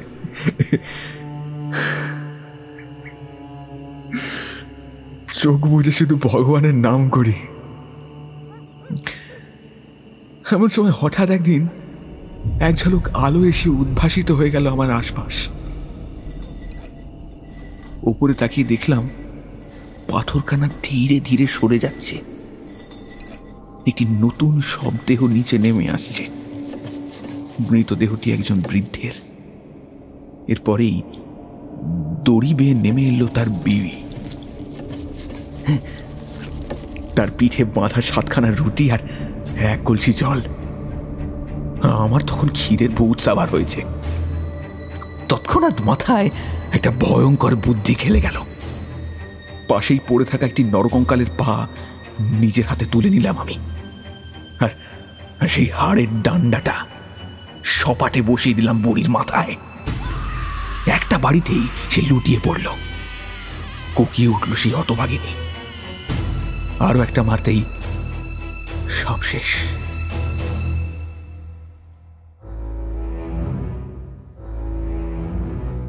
এক মুহূর্তের জন্য বুকের ভেতরটা খালি হয়ে গেল। এ কি কি করলাম আমি? হ্যাঁ? কি করলাম? শেষমেশ শেষমেশ এই পৈশাচিক হত্যাকাণ্ড করতে হলো আমাকে শুধুমাত্র সাতটা রুটির জন্য। ছি ছি ছি ছি কিন্তু যেন তেন প্রকারণ আমাকে বাঁচতেই হবে। আমাকে বাঁচতেই হবে, এটাই তখন আমার একমাত্র চিন্তা। সেই প্রাচীন প্রবাদটা মনে পড়ে গেল। চাচা, আপন প্রাণ বাঁচা। কোনটা ন্যায়, কোনটা অন্যায়, কোনটা ধর্ম, কোনটা অধর্ম? সে জ্ঞান বুদ্ধি আমার তখন লোভ পেয়েছে। ওই কখানা রুটি আর এক কলসি জলে আরও কয়েকটা দিন চলল। এরপর আবার একদিন কুঁয়োর মুখ খুলে গেল। নেমে এলো আরেকটি বিবির মৃতদেহ আর তার সঙ্গে তার জীবন্ত স্বামী। মানুষের কাছে তার জীবনের দাম সবচেয়ে বেশি। তাই এবারেও আমার খুব একটা হাত কাঁপল না। সেই বেচারাকেও হত্যা করে সেই সাতখানা রুটি আর জল সংগ্রহ করলাম। এইভাবেই অনেক দিন বেঁচে থাকলাম আমি। একটা একটা করে মৃতদেহ আসে আর তার জীবন্ত সঙ্গীকে হত্যা করে রুটি আর জল ছিনিয়ে নিয়ে জীবন ধারণ করি। নিজেকে সাক্ষাৎ জমদূত মনে হয় আমার। নিজের দোষ ঢাকতে নিজেই নিজের মনকে বলি, "এ- এ- এই লোকগুলো তো মরতই হ্যাঁ? লোকগুলো তো মরতই। এরকম যন্ত্রণার মৃত্যুর হাত থেকে বরং আমি তাদেরকে রক্ষা করছি।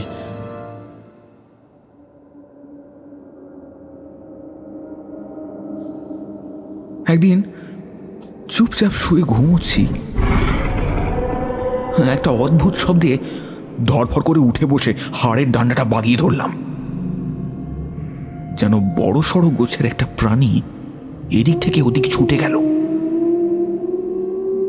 এত মৃত মানুষের মধ্যে থাকতে থাকতে মৃত্যু ভয় আমার চলে গিয়েছে। যা আছে কপালে, এই ভেবে আমি তার ছায়া অনুধাবন করলাম। চারিদিকে ঘুট ঘুটঘুটে অন্ধকার। কিচ্ছু ভালো করে নজরে আসে না, তবুও চলতে থাকি। মনে মনে ভাবি, ব্যাপারটা কি দেখতে হচ্ছে তো? এইভাবে অন্ধকার হাতড়ে অনেকক্ষণ চলার পর, হঠাৎ একটা আলোর রশি এসে পড়ল আমার মুখে। সম্ভবত কোনো ছোট সুরঙ্গ। আর তার অপর প্রান্ত থেকেই সেই আলোর রশ্মি আসছে। কোনো রকম সেই আলোর নিশানা ধরে আমি আরও খানিকটা এগিয়ে গেলাম। প্রতি মুহূর্তেই আমার মনে হতে লাগল, এই বুঝি আরও একটা মৃত্যু কুয়ো। কিন্তু আমার ভুল ভাঙলো একটু পরেই। এইবার সেই সুরঙ্গ থেকে বেরিয়ে এলাম একটা ফাঁকা জায়গায়। পরিষ্কার দিবালোক দেখলাম। একটি মাংস খেকো জানোয়ার দৌড়ে পালিয়ে গেল। ব্যাপারটা বুঝতে পারলাম। ওই জানোয়ারটা মরা দেহের লোভে পাহাড়ের নিচ দিয়ে সুরঙ্গ কেটে এই মৃত্যু কুয়োর ভেতর এসে পড়েছিল। রাতের বেলায় চুপি সারে এসে সে এইখান থেকে লাশ টেনে নিয়ে যায়। আবারও আমার মনে বাঁচার আশা দেখা দিল। জানোয়ারটাকে অনুসরণ করে এগিয়ে চললাম।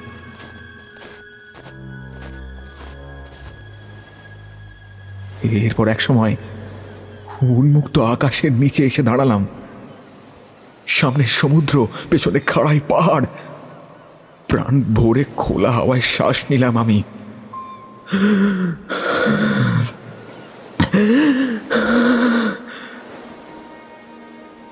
দু হাত তুলে বললাম, ইয়া আল্লাহ পরবর দিগার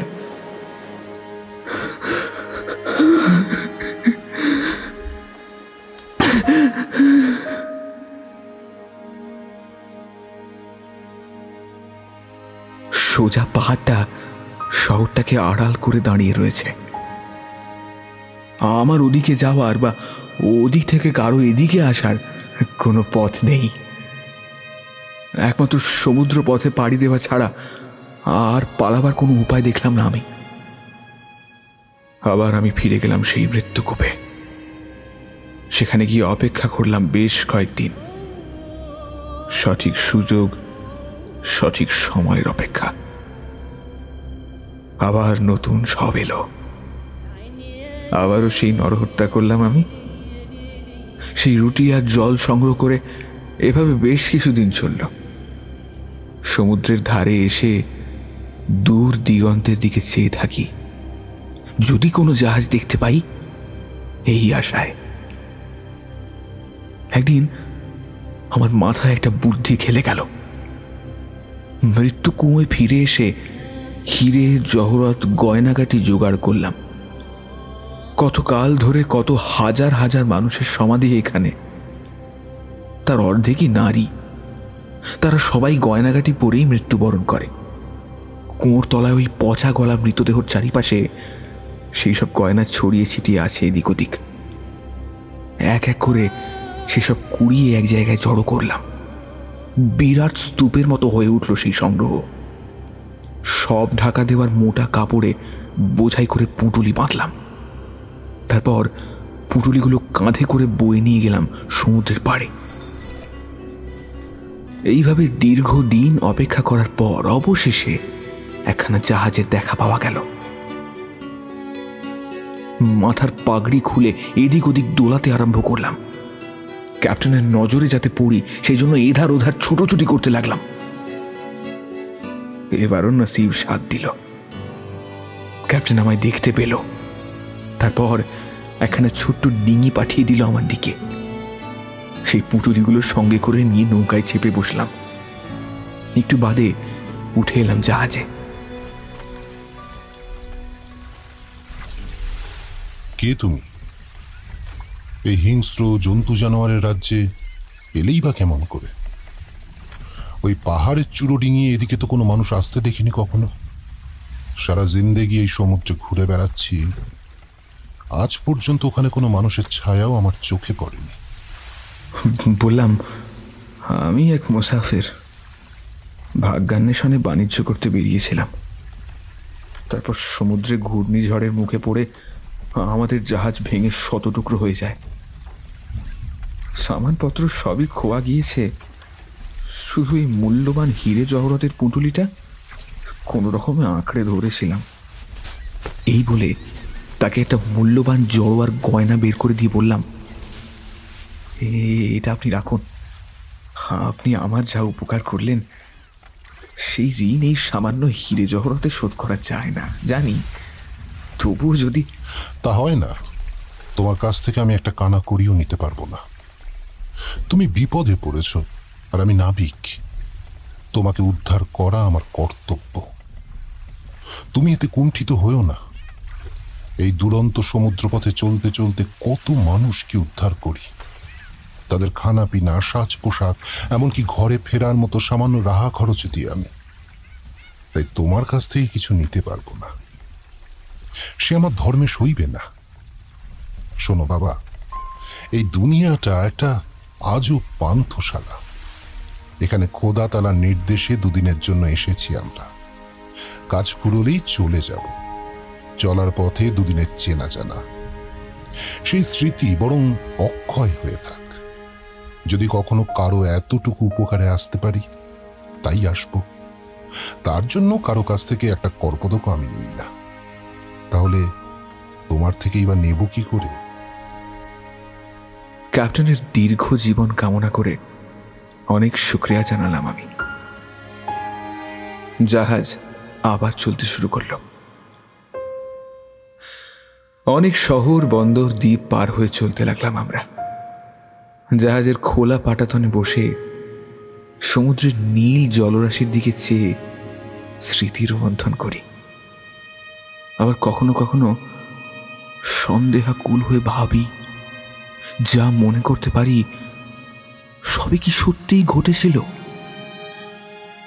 কোনো মানুষের জীবনে কি এই সব ঘটনা ঘটতে পারে?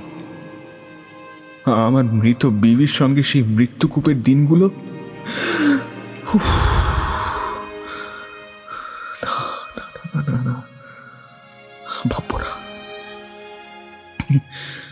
এইসব কথা বললে কেউ বিশ্বাসও করবে না। বললে বলবে আশিসের মাত্রাটা বুঝি বেশি হয়ে গিয়েছে।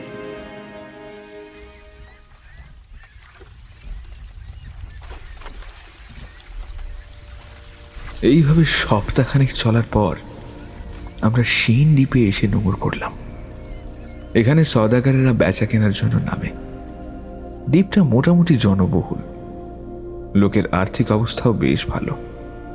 তাই চলার পথে সদাগারদের চোখ এড়ায় না এই বন্দরটা। শিন ছাড়িয়ে সবে সমুদ্রের মাঝ বরাবর এসে পথের নিশানা ঠিক করা হচ্ছে। এমন সময় ক্যাপ্টেন এসে আতঙ্কিত স্বরে বলল ঠিক বুঝতে পারছি না কোথায় এসে পড়লাম। যাই হোক আমি মাস্তুলের উপর দিয়ে যাচ্ছি। দেখি নিশানা বুঝতে পারি কিনা। ক্যাপ্টেন ক্ষিপ্র হাতে গায়ের কুর্তা খুলে ফেলে মাস্তুলের মাথায় উঠে যায়। আমরা অজ্ঞ অসহায় লোকগুলো আকাশের দিকে মুখ তুলে চেয়ে রইলাম। ভয় বুকটা ডিপ ডিপ করছে। ক্যাপ্টেন কি বার্তা শোনাবে কে জানে? খানিক পরেই জানা গেল, বার্তা শুভ নয়। আমরা এসে পড়েছি এক মরণ ফাঁদ দ্বীপের মুখোমুখি। এখানে এলে কেউ প্রাণ হাতে নিয়ে ফিরে যেতে পারে না। এত কাল ধরে যারা পথ ভুলে অথবা নসিবের দোষে সমুদ্রে এসে পড়েছে তাদের সকলেরই ইন্তেকাল হয়ে গিয়েছে। ক্যাপ্টেন নেমে এসে কাঁদো কাঁদো স্বরে বলল এবার তার নাম জপ করো। আর কোনো আশা নেই। একটা প্রচণ্ড ঘূর্ণিঝড় তেড়ে আসছে এই দিকে আমাদের মতো শখানেক জাহাজ তার এক পাকে পড়ে টুকরো টুকরো হয়ে যেতে পারে। খুব কাছেই একটা দ্বীপ আছে, চেষ্টা করলে ওই তুফানের জাল পেরিয়ে নোংর করতে পারি। তবে লাভ নেই কোনো। ব্যাপারটা অনেকটা সিংহের কবল থেকে রক্ষা পেয়ে হায়নার মুখে পড়ার মতো হবে। কেন কেন? ক্যাপ্টেন তার তরঙ্গ থেকে একটা ছোট্ট বাক্স বের করল। বাক্সের তালা খুলে তার মধ্যে থেকে একখানা ন্যাকড়া জড়ানো সাদা গুঁড়োর মতো বস্তু বের করল। খানিকটা জল দিয়ে ওই আশ্চর্য গুঁড়ো ভিজিয়ে আটার মতো ডেলা করে নাকের ফুটোয় পুড়ে দিল। তারপর একখানা ছোট্ট কেতাব বের করে বলল এই আমার জাদু মন্ত্রের বই। এইটা দিয়ে কি হবে? তোমরা জানো না ওই যে ঝড় আসছে দেখছ? ও হচ্ছে পায়গাম্বার সুলেমানের সৈন্যবাহিনী। আর ওই যে দ্বীপ দেখছ? ওই দ্বীপে আছে সুলেমানের সমাধি। আজ পর্যন্ত কেউ ওই সমাধি ক্ষেত্র দেখতে পায়নি। এখানে এলেই প্রথমে তেরে আসতে থাকে ওই তুফান। তাকে পাশ কাটিয়ে যদি দ্বীপের তীরে পৌঁছেও যাই তবু রক্ষে নেই। ভয়ঙ্কর বিষধর সাপ আর বিকট আকৃতির দানব আস্ত গিলে ফেলবে সবাইকে। এরপর ক্যাপ্টেন আর একটি কথাও বলল না। নিবিষ্ট মনে বইয়ের কয়েকটি পাতা উল্টে বিড় বিড় করে কি সব করতে লাগল। তারপর দীর্ঘশ্বাস ফেলে বলল না হলো না। কি? কি হলো না ক্যাপ্টেন? না এ দুর্যোগ কাটবার কোনো সম্ভাবনা নেই। বরং আরও বাড়বে। সুতরাং আমার উপর ভরসা না রেখে নিজের নিজের পথ দেখো সব। ভগবান মেহেরবান হোক। তখনও ঝড় এসে পৌঁছয়নি কিন্তু বৃষ্টির বন্যায় জাহাজের পাটাতন ভেসে যেতে থাকে। আমরা প্রাণপণে চেষ্টা করি কাপড়ের গাঁটরিগুলো বাঁচানো যায় কিনা। ক্যাপ্টেন বললেন ওসব থাক আপনি বাঁচলে বাপের নাম। আগে নিজে বাঁচার পথ দেখো। জানে বাঁচলে অনেক ওরকম কাপড়ের গাঠরি চোখে দেখতে পাবে। এখনই ঘূর্ণিঝড় এসে আশ্রয় করবে। পারো তো সাবধান আমি ক্যাপ্টেনের করুণ চোখের সেই ভয়ার্ত দৃষ্টি আমি আজও ভুলিনি। জানি না সেই দিনই তার সলিল সমাধি হয়েছিল কিনা। জানি না বেঁচে থাকলেও জীবনে আর কোনোদিন দেখা পাবো কিনা। একটু বাদেই প্রচণ্ড একটা ঝড়ের ধাক্কা এসে লাগল আমাদের জাহাজে। প্রথম ধাক্কাটা সামলাতে পারলেও পরের দাপট আর সহ্য করতে পারলাম না আমরা। এলো পাথারি ঝড়ের তাণ্ডব চলতে লাগল। বিশাল বিশাল ঢেউ এসে আমাদের গোটা জাহাজটাকে গ্রাস করে নিচ্ছে। কখনো বা মনে হয় জলের একটা পাহাড় এসে পড়ল পাটাতনের ওপর। আবার দেখি, না, জলটা সরে গেল। কিন্তু এভাবে বেশিক্ষণ কাটল না। একখানা ঘূর্ণিঝড় এসে আমাদের জাহাজখানাকে প্রায় একশো হাত উপরে তুলে আচার মারল। তারপর তারপর কে কোথায় ছিটকে পড়লাম, তলিয়ে গেলাম, কোথায় হারিয়ে গেলাম, আর কোনো হদিশ করতে পারলাম না।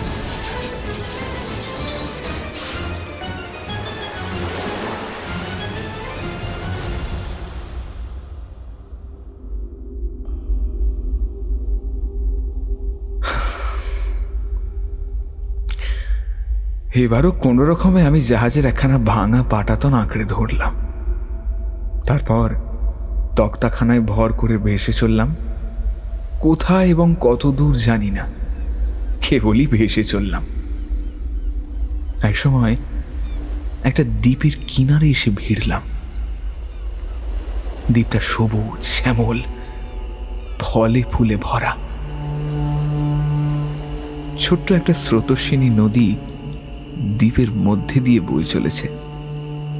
ঠিক করলাম, যা থাকে কপালে। এই নদীর জলেই ভেলা ভাসিয়ে চলব। যদি বাঁচি ভালো, না বাঁচলেও দুঃখ পাব না। তবে তার আগে গাছের সুমিষ্ট ফল আর নদীর জল খেয়ে নিজেকে একটু চাঙ্গা করে নিলাম। তারপর কাঠের পাটাতনখানা টেনে এনে ফেললাম নদীর জলে। তারপর চেপে বসতেই স্রোতের টানে আর টাল সামলাতে পারলাম না। ভেলার উপর পা খেয়ে পড়ে গেলাম। জ্ঞান ফিরেছিল।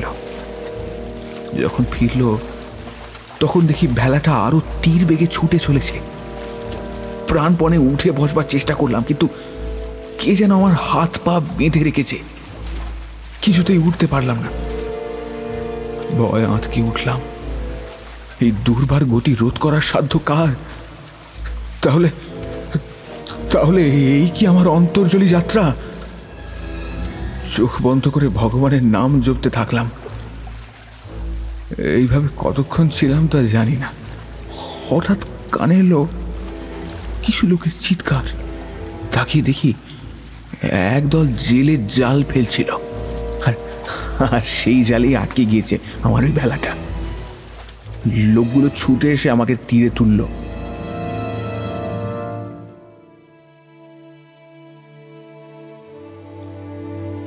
তখন আমার অর্ধমৃত অবস্থা।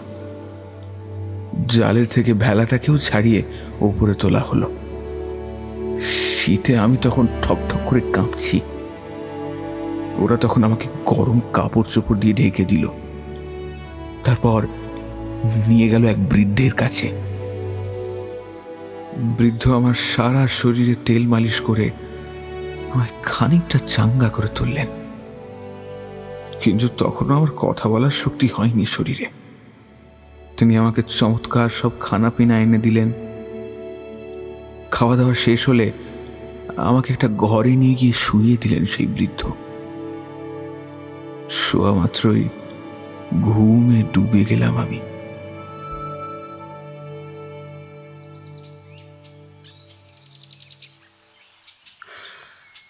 এইভাবে দিনরাত্রি দারুণ তোয়াজের মধ্যে কাটালাম। ওরা আমাকে একটা প্রশ্ন করল না। চার দিনে দিন সকালবেলা বৃদ্ধ এসে আমার পাশে বসলেন। বললেন ভগবানের দয়ায় এ যাত্রায় রক্ষা পেয়ে গেলে বাবা আমরা তো আশায় ছেড়ে দিয়েছিলাম। সবই তার ইচ্ছে। তারপর একটু থেমে বৃদ্ধ আমায় জিজ্ঞাসা করলেন আচ্ছা বাবা, কে তুমি? কোত্থেকে আসছিলে?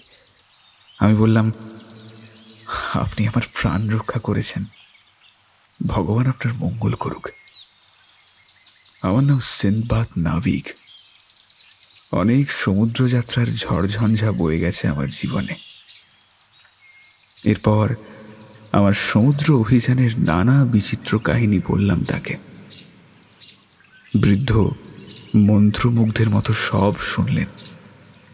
তারপর বললেন বেটা আর দেরি না করে এবার তোমার এই মূল্যবান সামান নিয়ে রওনা হও। কিন্তু তার জন্য যে জাহাজ দরকার অনেক পয়সা করি দরকার।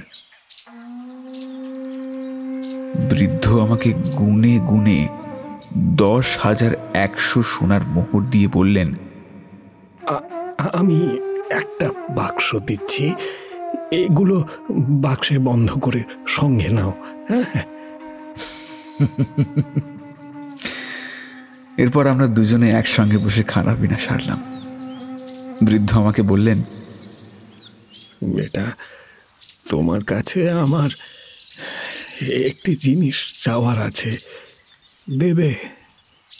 আমার প্রাণ দান করেছেন যিনি তারই আবদারে আমি কৃতার্থ হলাম। আপনি কোনো সংকোচ করবেন না। বলুন বলুন কি চান? আপনাকে অদেও আমার কিছুই নেই। বৃদ্ধের চোখ নেচে উঠল।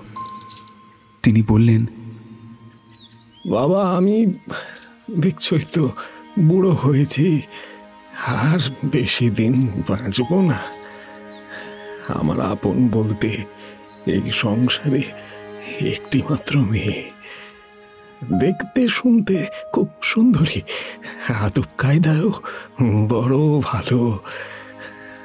আমার মরার পরেই বিশাল সম্পত্তির একমাত্র মালিকিন, সেই হবে।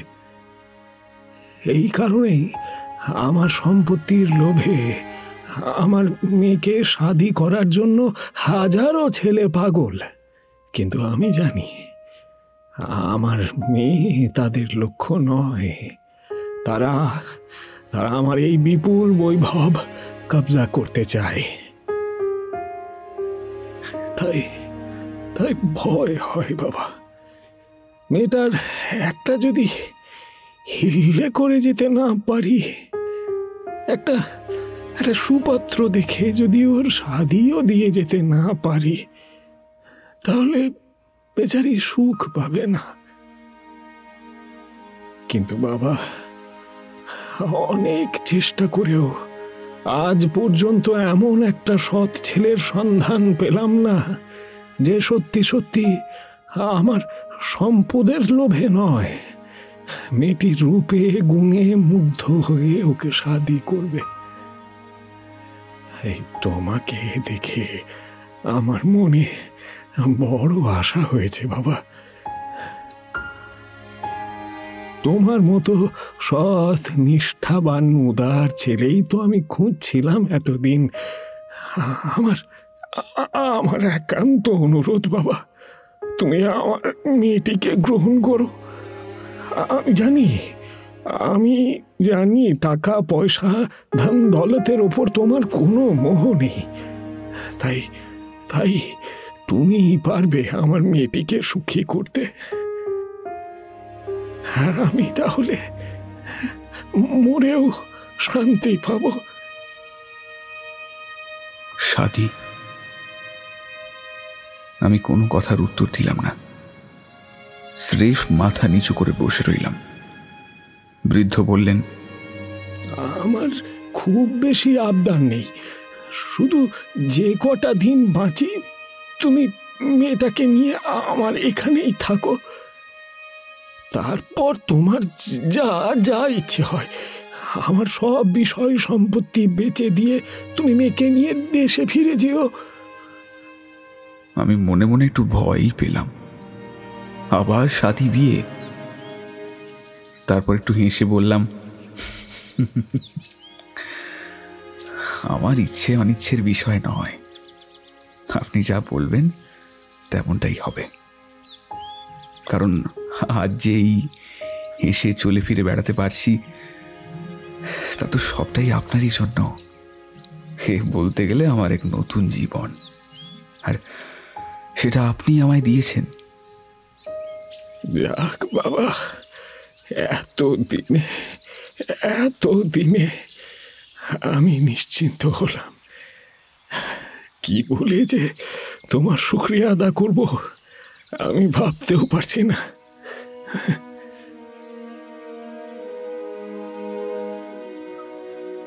কাজী ও সাক্ষী ডেকে সেই দিনই সাদি সমাধা করা হলো। বড় লোকের একমাত্র মেয়ে মহা ধুমধাম করে অনেক লোকজন খাওয়ানো হলো। গরিব দিন ভিখারিরা খানাপিনা ছাড়াও নগদ বিদায় নিয়ে পাত্রপাত্রীর শতায়ু কামনা করে চলে গেল। এত দিন এখানে আছি, কিন্তু শাদির রাতেই প্রথম দেখলাম বৃদ্ধর মেয়েকে।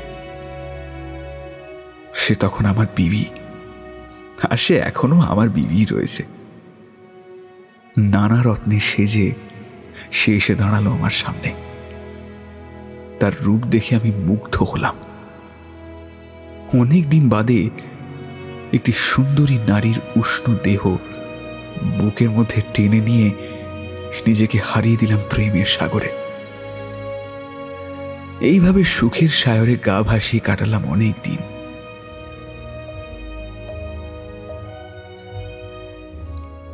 এরপর একদিন আমার শ্বশুর দেহ রাখলেন। যথাযোগ্য মর্যাদায় তাকে সমাহিত করলাম। তার মৃত্যুর সংবাদ পেয়ে সারা দেশের লোক ভেঙে পড়েছিল সেদিন। আজকালকার দিনে এমন ধর্মপ্রাণ মানুষ বড় একটা দেখা যায় না। লম্বা শোক মিছিলের সামনে ছিলাম আমি।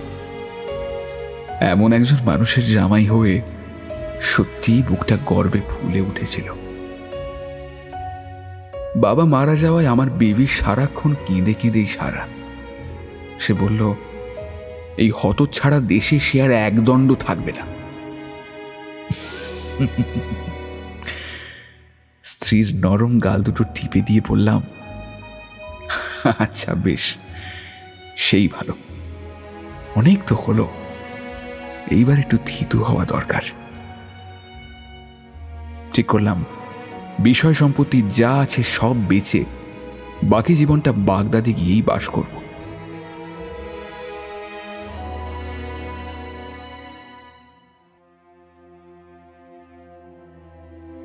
শ্বশুর অনেক টাকা পয়সা রেখে গিয়েছেন। ঠিক করলাম, একখানা ভালো দেখে সদাগারি জাহাজ কিনে সামানপত্র সব বোঝাই করে ভগবানের নাম নিয়ে পাড়ি দিয়ে দেব। যেসব জিনিস সঙ্গে নেওয়া অসুবিধাজনক, সবই একে করে নিলামে ছড়িয়ে দিলাম। বেশ ভালো দেখে একখানা আন করা জাহাজ কিনলাম। সামানপত্র বোঝাই করে দিনক্ষণ দেখে একদিন বসরাহর দিকে রওনা হলাম আমরা। কিছুদিনের মধ্যেই প্রথমে আমরা বসরাহ তারপর বাগদাদে এসে পৌঁছলাম। আমার বিবিকে সঙ্গে নিয়ে প্রথমেই বাড়ি গেলাম আমি। সেখানে আমার আত্মীয় পরিজন সবাই আমায় দেখে খুশির আনন্দে নেচে উঠল। আমার নতুন বিবিকে বরণ করে ঘরে তুললেন তারা।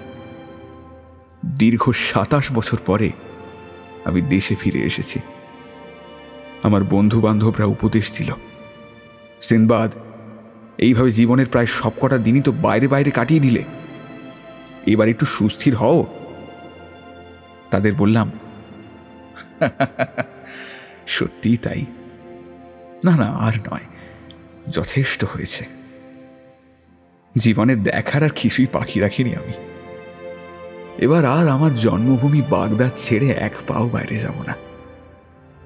এত ঝড়, এত ঝঞ্ঝা, বিপদ, আপদ কাটিয়ে আজও যে আমি বেঁচে আছি, সে তো সেই একমাত্র করুণাময় ভগবানের দয়ায়।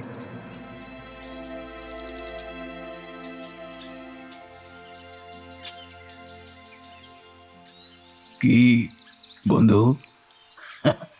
আমার কাহিনী শুনলে তো? এইবার ভেবে দেখো। তুমি যত হাড় ভাঙা পরিশ্রমী করো আমার তুলনায় তা কতটা নগণ্য। একটা দিকে তোমার নিশ্চিন্তে ভরসা আছে। সারা দিন খাটাখাটনির পর ঘরে ফিরে যেতে পারবে তুমি। কিন্তু আমার কথা ভেবে দেখো, ঘর ছাড়বার পর আবার যে কখনো ফিরতে পারব, সে ভরসা ছিল কি? ওই একমাত্র উপরওয়ালার কল্যাণে ঘরে ফিরে আসতে পেরেছি আর কি। এ কথা সত্যি যে আজ আমি বাগদাদের সেরা ধনী। কিন্তু এটা তো মানবে। আমার যে উদ্যম, আমার যে জীবন মরণ পণ, তার পুরস্কারটা কি আমি পাবো না? হ্যাঁ?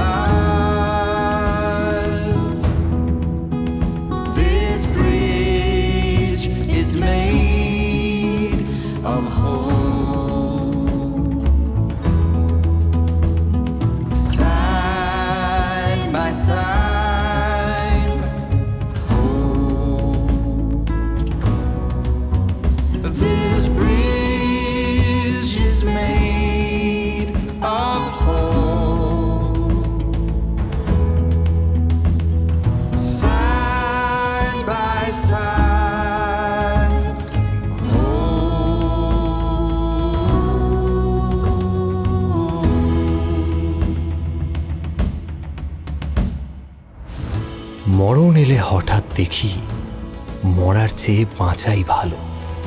মনেরে তাই কহ যে ভালো মন্দ যাহাই আসুক, সত্যের এলাও সহজে। রবি ঠাকুরের কবিতার এই লাইনগুলো কেমন অজান্তে সিনবাদের জীবনের সঙ্গে মিলে যায়, তাই না? কেমন লাগল আজকের গল্প? ভালো লাগলে অবশ্যই কমেন্টের মাধ্যমে আপনার মতামত জানান। উৎসাহ পেলে আমরা আবার আরব্য রজনীর অন্যান্য গল্প নিয়ে ফিরে আসব আপনাদের কাছে। তাই জানাতে ভুলবেন না আপনাদের মতামত। সাবস্ক্রাইব করুন এসো গল্প করিকে আর হয়ে যান দুই লক্ষ পরিবারের সদস্যের একজন। শুভরাত্রি, ভালো থাকবেন এবং সকলকে ভালো রাখবেন।